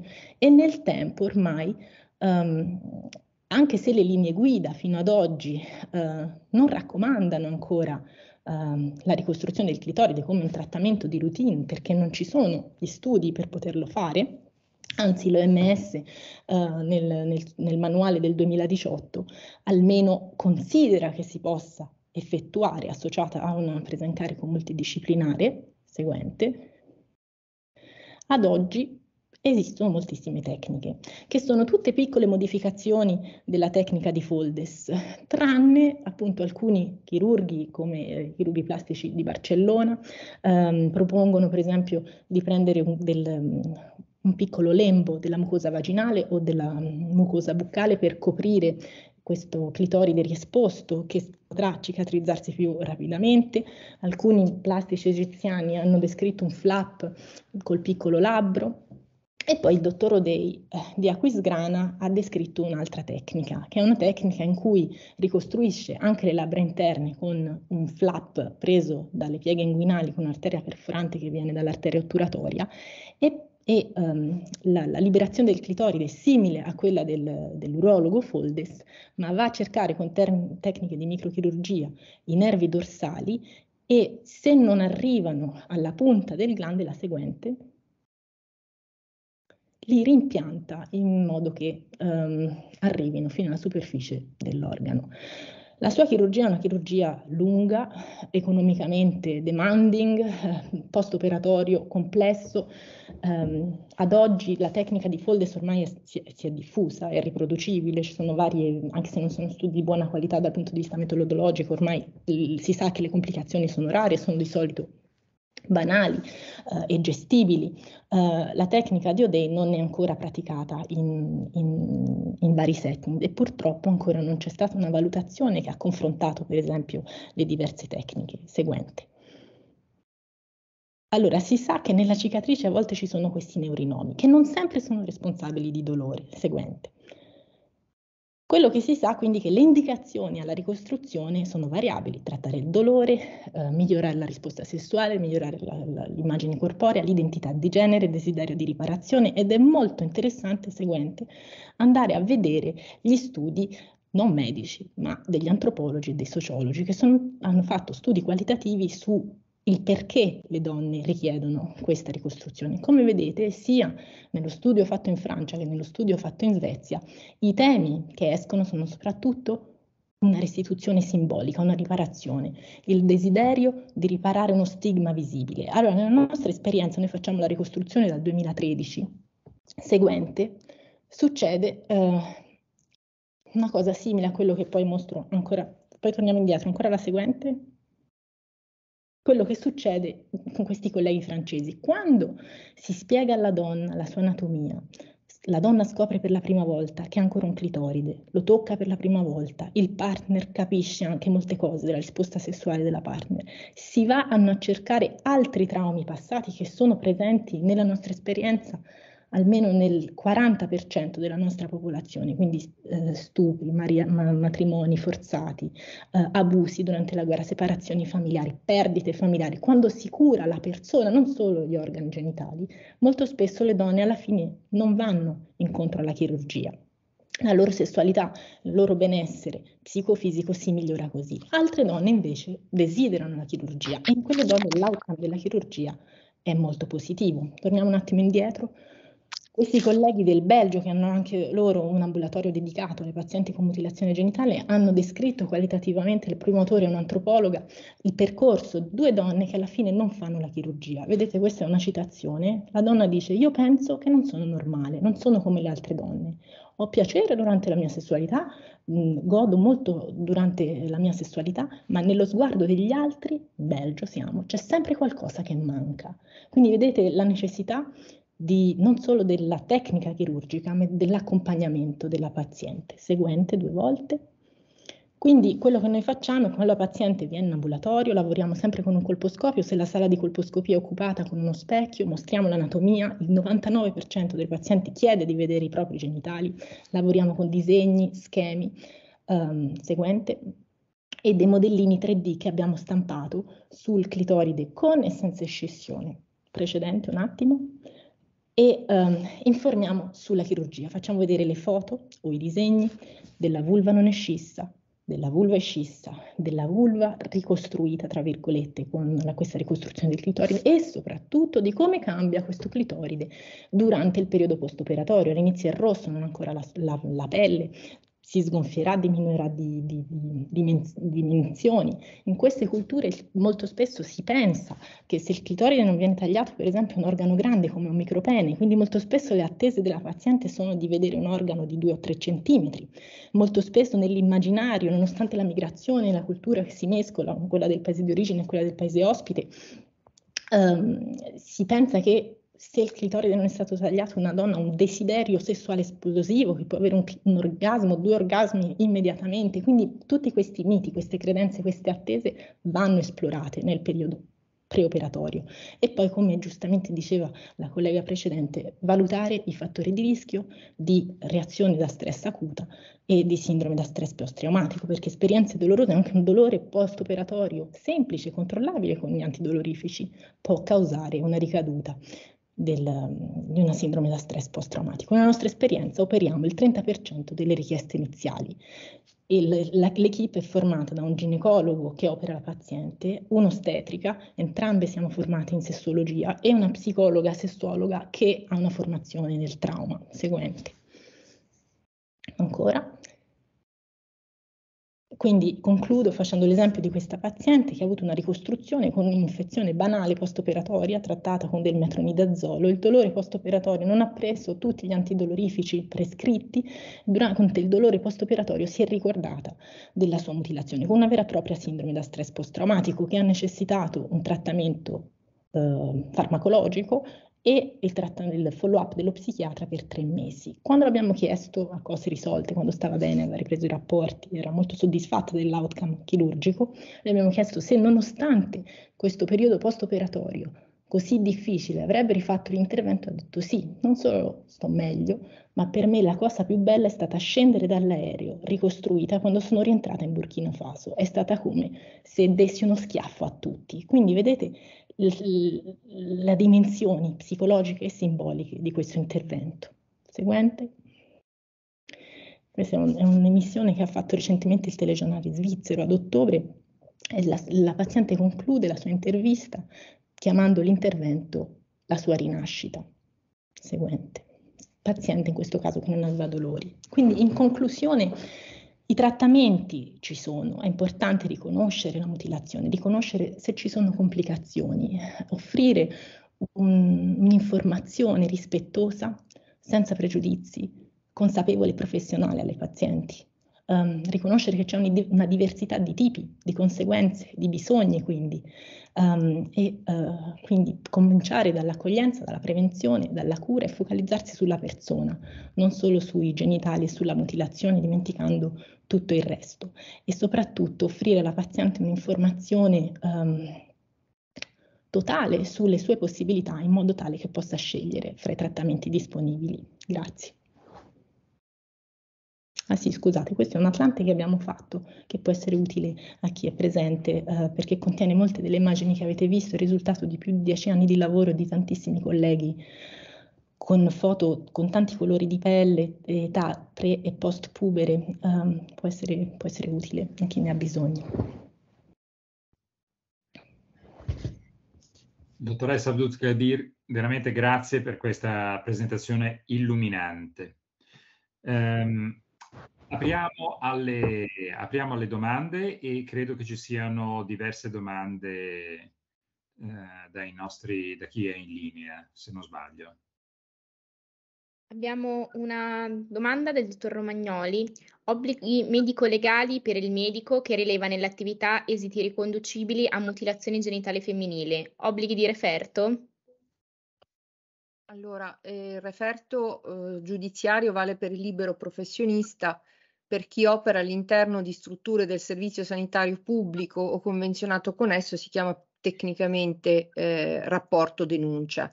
E la comunicazione serve, ovviamente se la persona viene già avviata, come nei casi che noi vediamo in ambulatorio per le vittime di violenza e tortura delle popolazioni migranti, ehm, viene già avviata per esempio dalla prefettura, ovviamente è già in sé eh, la comunicazione all'autorità giudiziaria. La questione si può porre quando eh, la persona ceda spontaneamente al servizio sanitario e quindi se non è stata ancora resa nota questa circostanza, sia al, ai riferimenti della diciamo, struttura sanitaria in termini di denuncia sanitaria sia uh, in termini di comunicazione, eh, ancorché non ci sia ovviamente la possibilità di individuare l'autore, questa comunicazione, secondo legge, è eh, perentoria.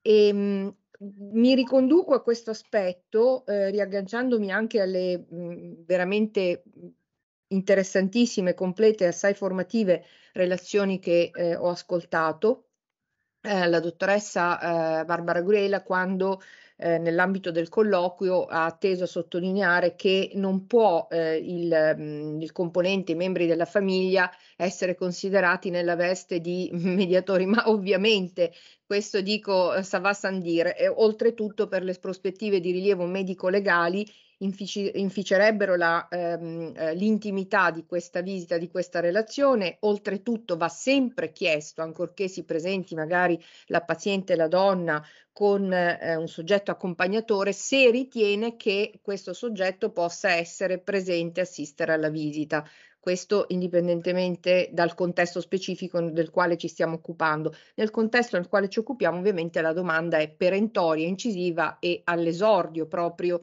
della eh, comunicazione, per cui la figura del mediatore eh, diventa eh, indispensabile. È stato poi toccato il punto della comprensione ovviamente eh, anche al fine di evitare lo stigma nei confronti della donna come elemento vulnerante, mi trovo assolutamente concorde, ci mancherebbe altro, ma comprendere per arrivare a spiegare non significa giustificare.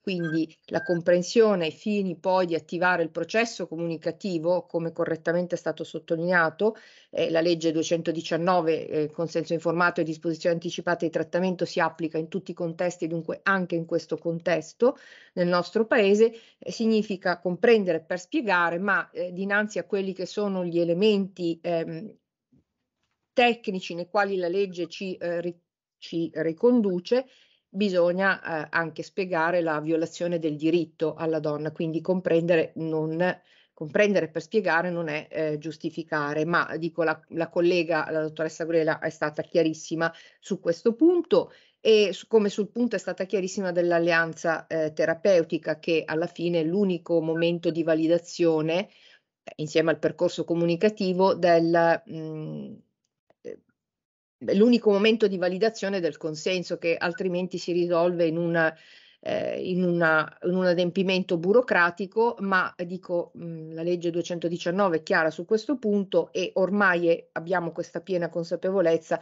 non è questo che ci si richiede di fare. Eh, l'ultimo passaggio molto delicato è quello del eh, minore.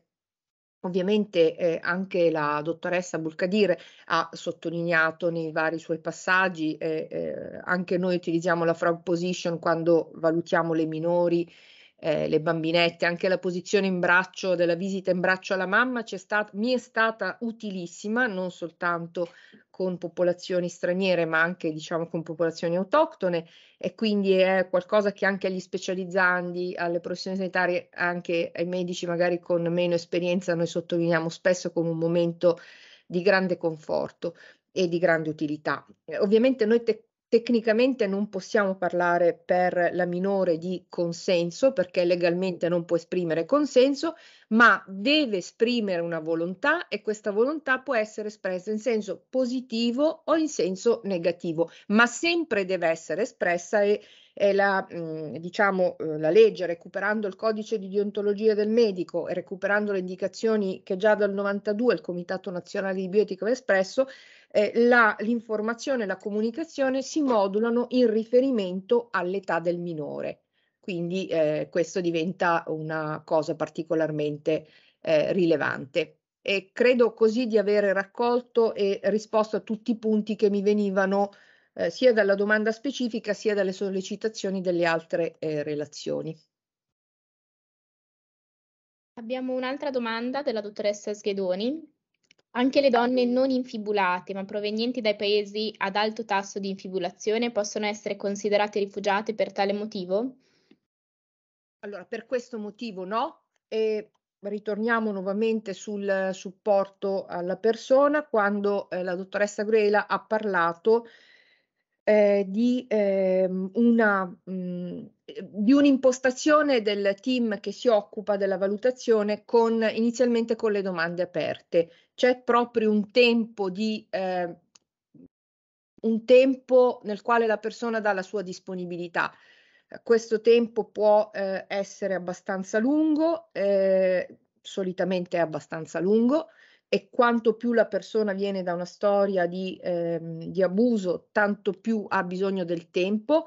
Eh, ci sono capi- casi in cui anche semplicemente avendo già piena cognizione della uh, mutilazione e veniva già con l'indicazione a questa visita, a questa attività certificativa, è solo al terzo momento di incontro che si arrivava alla possibilità di una valutazione diagnostica per rispondere alla domanda, no, se solo per questo, se proviene da un'area geografica a rischio, ma eh, non, ha la, diciamo, eh, non ha subito fortunatamente la motivazione, non per questo può eh, essere considerato elemento eh, persona suscettibile di eh, forma specifica di tutela. Ovviamente altri elementi nella storia della persona eh, prima del momento, per esempio, per le popolazioni eh, subsahariane, prima del momento, per esempio, di una detenzione in Libia, potranno essere indicative, per esempio, fattori di, di fuga da eh, situazioni eh, anche per soggetti giovani,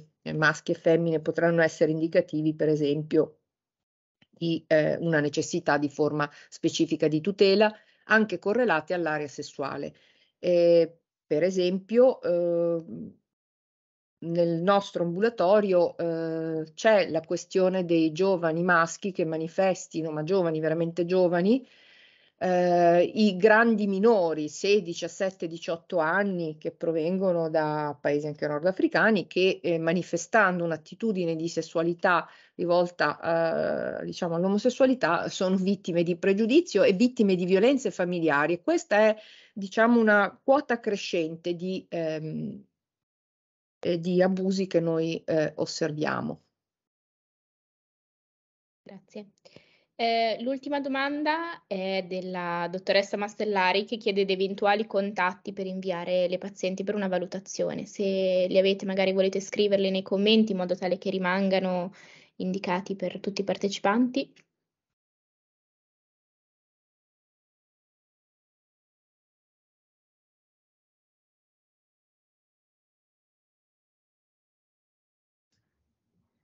Questa, eh, questo invito è per chi?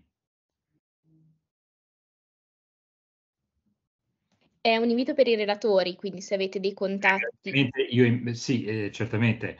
Eh, per la dottoressa Abdul Kadir eh, sarà un po' difficile per noi eh, colleghi italiani, eh, ma eh, possiamo anche ricordare che ehm, sia a San Paolo sia in Mangiagalli a Milano ehm, ci sono possibilità di consulenza ed eventualmente di eh, correzione eh, nel, nostro, nel, nostro, ospedale grazie all'attività del dottor Brambilla, ottimo chirurgo plastico che si occupa anche di eh, ginecoplastica e veramente ha degli ottimi successi in questo senso.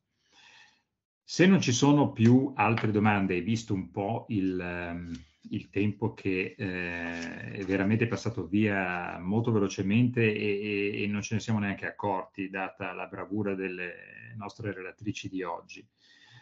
Um, vorrei fare um, un, um, alcune, alcune, alcune, domande flash alle relatrici e più un commento generale eh, finale.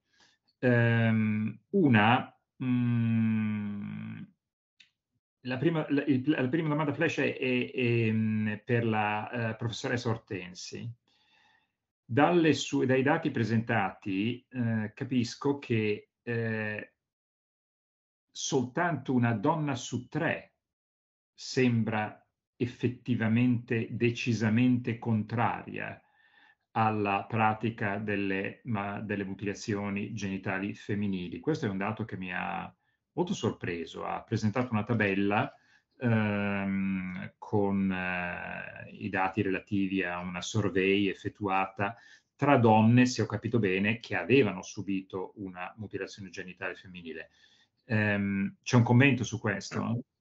Allora, eh, dunque, le, la, la, in realtà la survey era fatta su tutte le donne. Su tutte, eh, allora peggio ancora.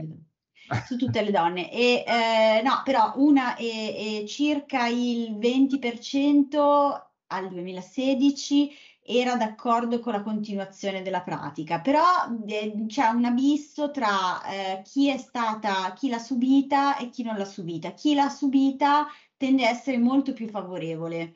Eh, non, quasi nessuno è favorevole alla, alla, continuazione della pratica tra chi non l'ha subita. Magari si eh, si può, molte magari dicono che ci sono delle ragioni per cui avrebbe senso farlo, ma non, non, eh, non per questo eh, supportano la pratica. Eh, c'è comunque un riconoscimento delle, di alcune ragioni per cui la pratica ha un suo perché anche da parte delle donne non mutilate, tipicamente eh, questioni culturali, questioni di valori, questioni religiose, però è quasi essenzialmente una questione che ha a che fare fare il rischio ha a che fare solo, per le bambine intendo il rischio, eh, per le figlie di donne con mutilazioni genitali femminili. Lì il supporto è molto maggiore e c'è anche un'area grigia di persone che non supportano e non, e non Però, ostacolano. Mh, con tutti questi distinguo, ma di fatto rimane che eh, eh, con, in questa survey ehm, una, solo una donna su tre è decisamente contraria alla continuazione della pratica delle mutilazioni genitali femminili. Poi ci, ci sono molte, molte, spiegazioni, certamente. Questo però... Sì, allora il commento adesso il dottor Liberani si è dovuto scollegare purtroppo, però ci ha chiesto di riportare questo commento che leggo testualmente. A proposito degli aspetti legali, avrei voluto specificare, riportando quanto scritto la dottoressa Barbara Caputo dell'Università Bicocca di Milano, di come l'evento migrazione possa spingere, proprio per la messa in discussione dell'ordine delle cose, ad aderire con più forza a modelli familiari al fine di salvaguardare il proprio orizzonte di senso. Le donne che originano da comunità dove le mutilazioni genitali sono la norma vivono in un contesto nella quale la pratica è vista come un aspetto importante della vita anche dopo l'immigrazione. In questo senso la legge consulo, la seconda parte della legge, rappresenta nel panorama normativo italiano ed internazionale un mezzo di difesa e prevenzione perché prevede la promozione di programmi di cooperazione internazionale direttamente con i paesi interessati, senza oneri da parte dello Stato. Con questa legge l'ordinamento giuridico italiano si è dotato di uno strumento non solo repressivo, ma necessario e utile per creare una nuova cultura di diritti, un nuovo modo di entrare nella comunità. Bene, ringraziamo il dottor Liberani. E ringraziamo le nostre relatrici di oggi che veramente con grande piacere ci hanno fatto fare tardi perché hanno fatto delle relazioni così interessanti, così complete su un argomento che, eh, su cui alcuni di noi hanno informazioni parziali. Quindi veramente davvero, davvero grazie. Eh, mi segnalano che ehm, anche oggi abbiamo toccato quasi 200 persone che ci hanno seguito, quindi è stata un'ottima cosa e ricordiamo che tra due giorni ci sarà la giornata mondiale contro le mutilazioni genitali femminili. Ne approfitto per darvi appuntamento a sabato prossimo. Il, il tema eh, del, del, prossimo webinar del Magical Journal Club sarà tra le righe del DNA fetale, evidenze scientifiche e incertezze cliniche. E avremo il piacere di ospitare come relatori il professor Volpe da Bari, il professor Gianluigi Pilo da Bologna, dall'Università di Bologna, il Mangiagale Regional Class sfrutta molto l'Università di Bologna, e il nostro Nicola Persico, eh, associato dell'Università di Milano, eh, che saranno moderati da Federica Natacci, eh, dalla professoressa Natacci, che eh, e, e, professoressa di eh, genetica medica all'Università degli Studi di Milano. Quindi grazie molte a tutti, grazie eh, alla nostra Camilla, Carlotta e Agnese e ci diamo appuntamento a mh, mm, sabato prossimo, come sempre, puntuali alle ore 10. Buon weekend.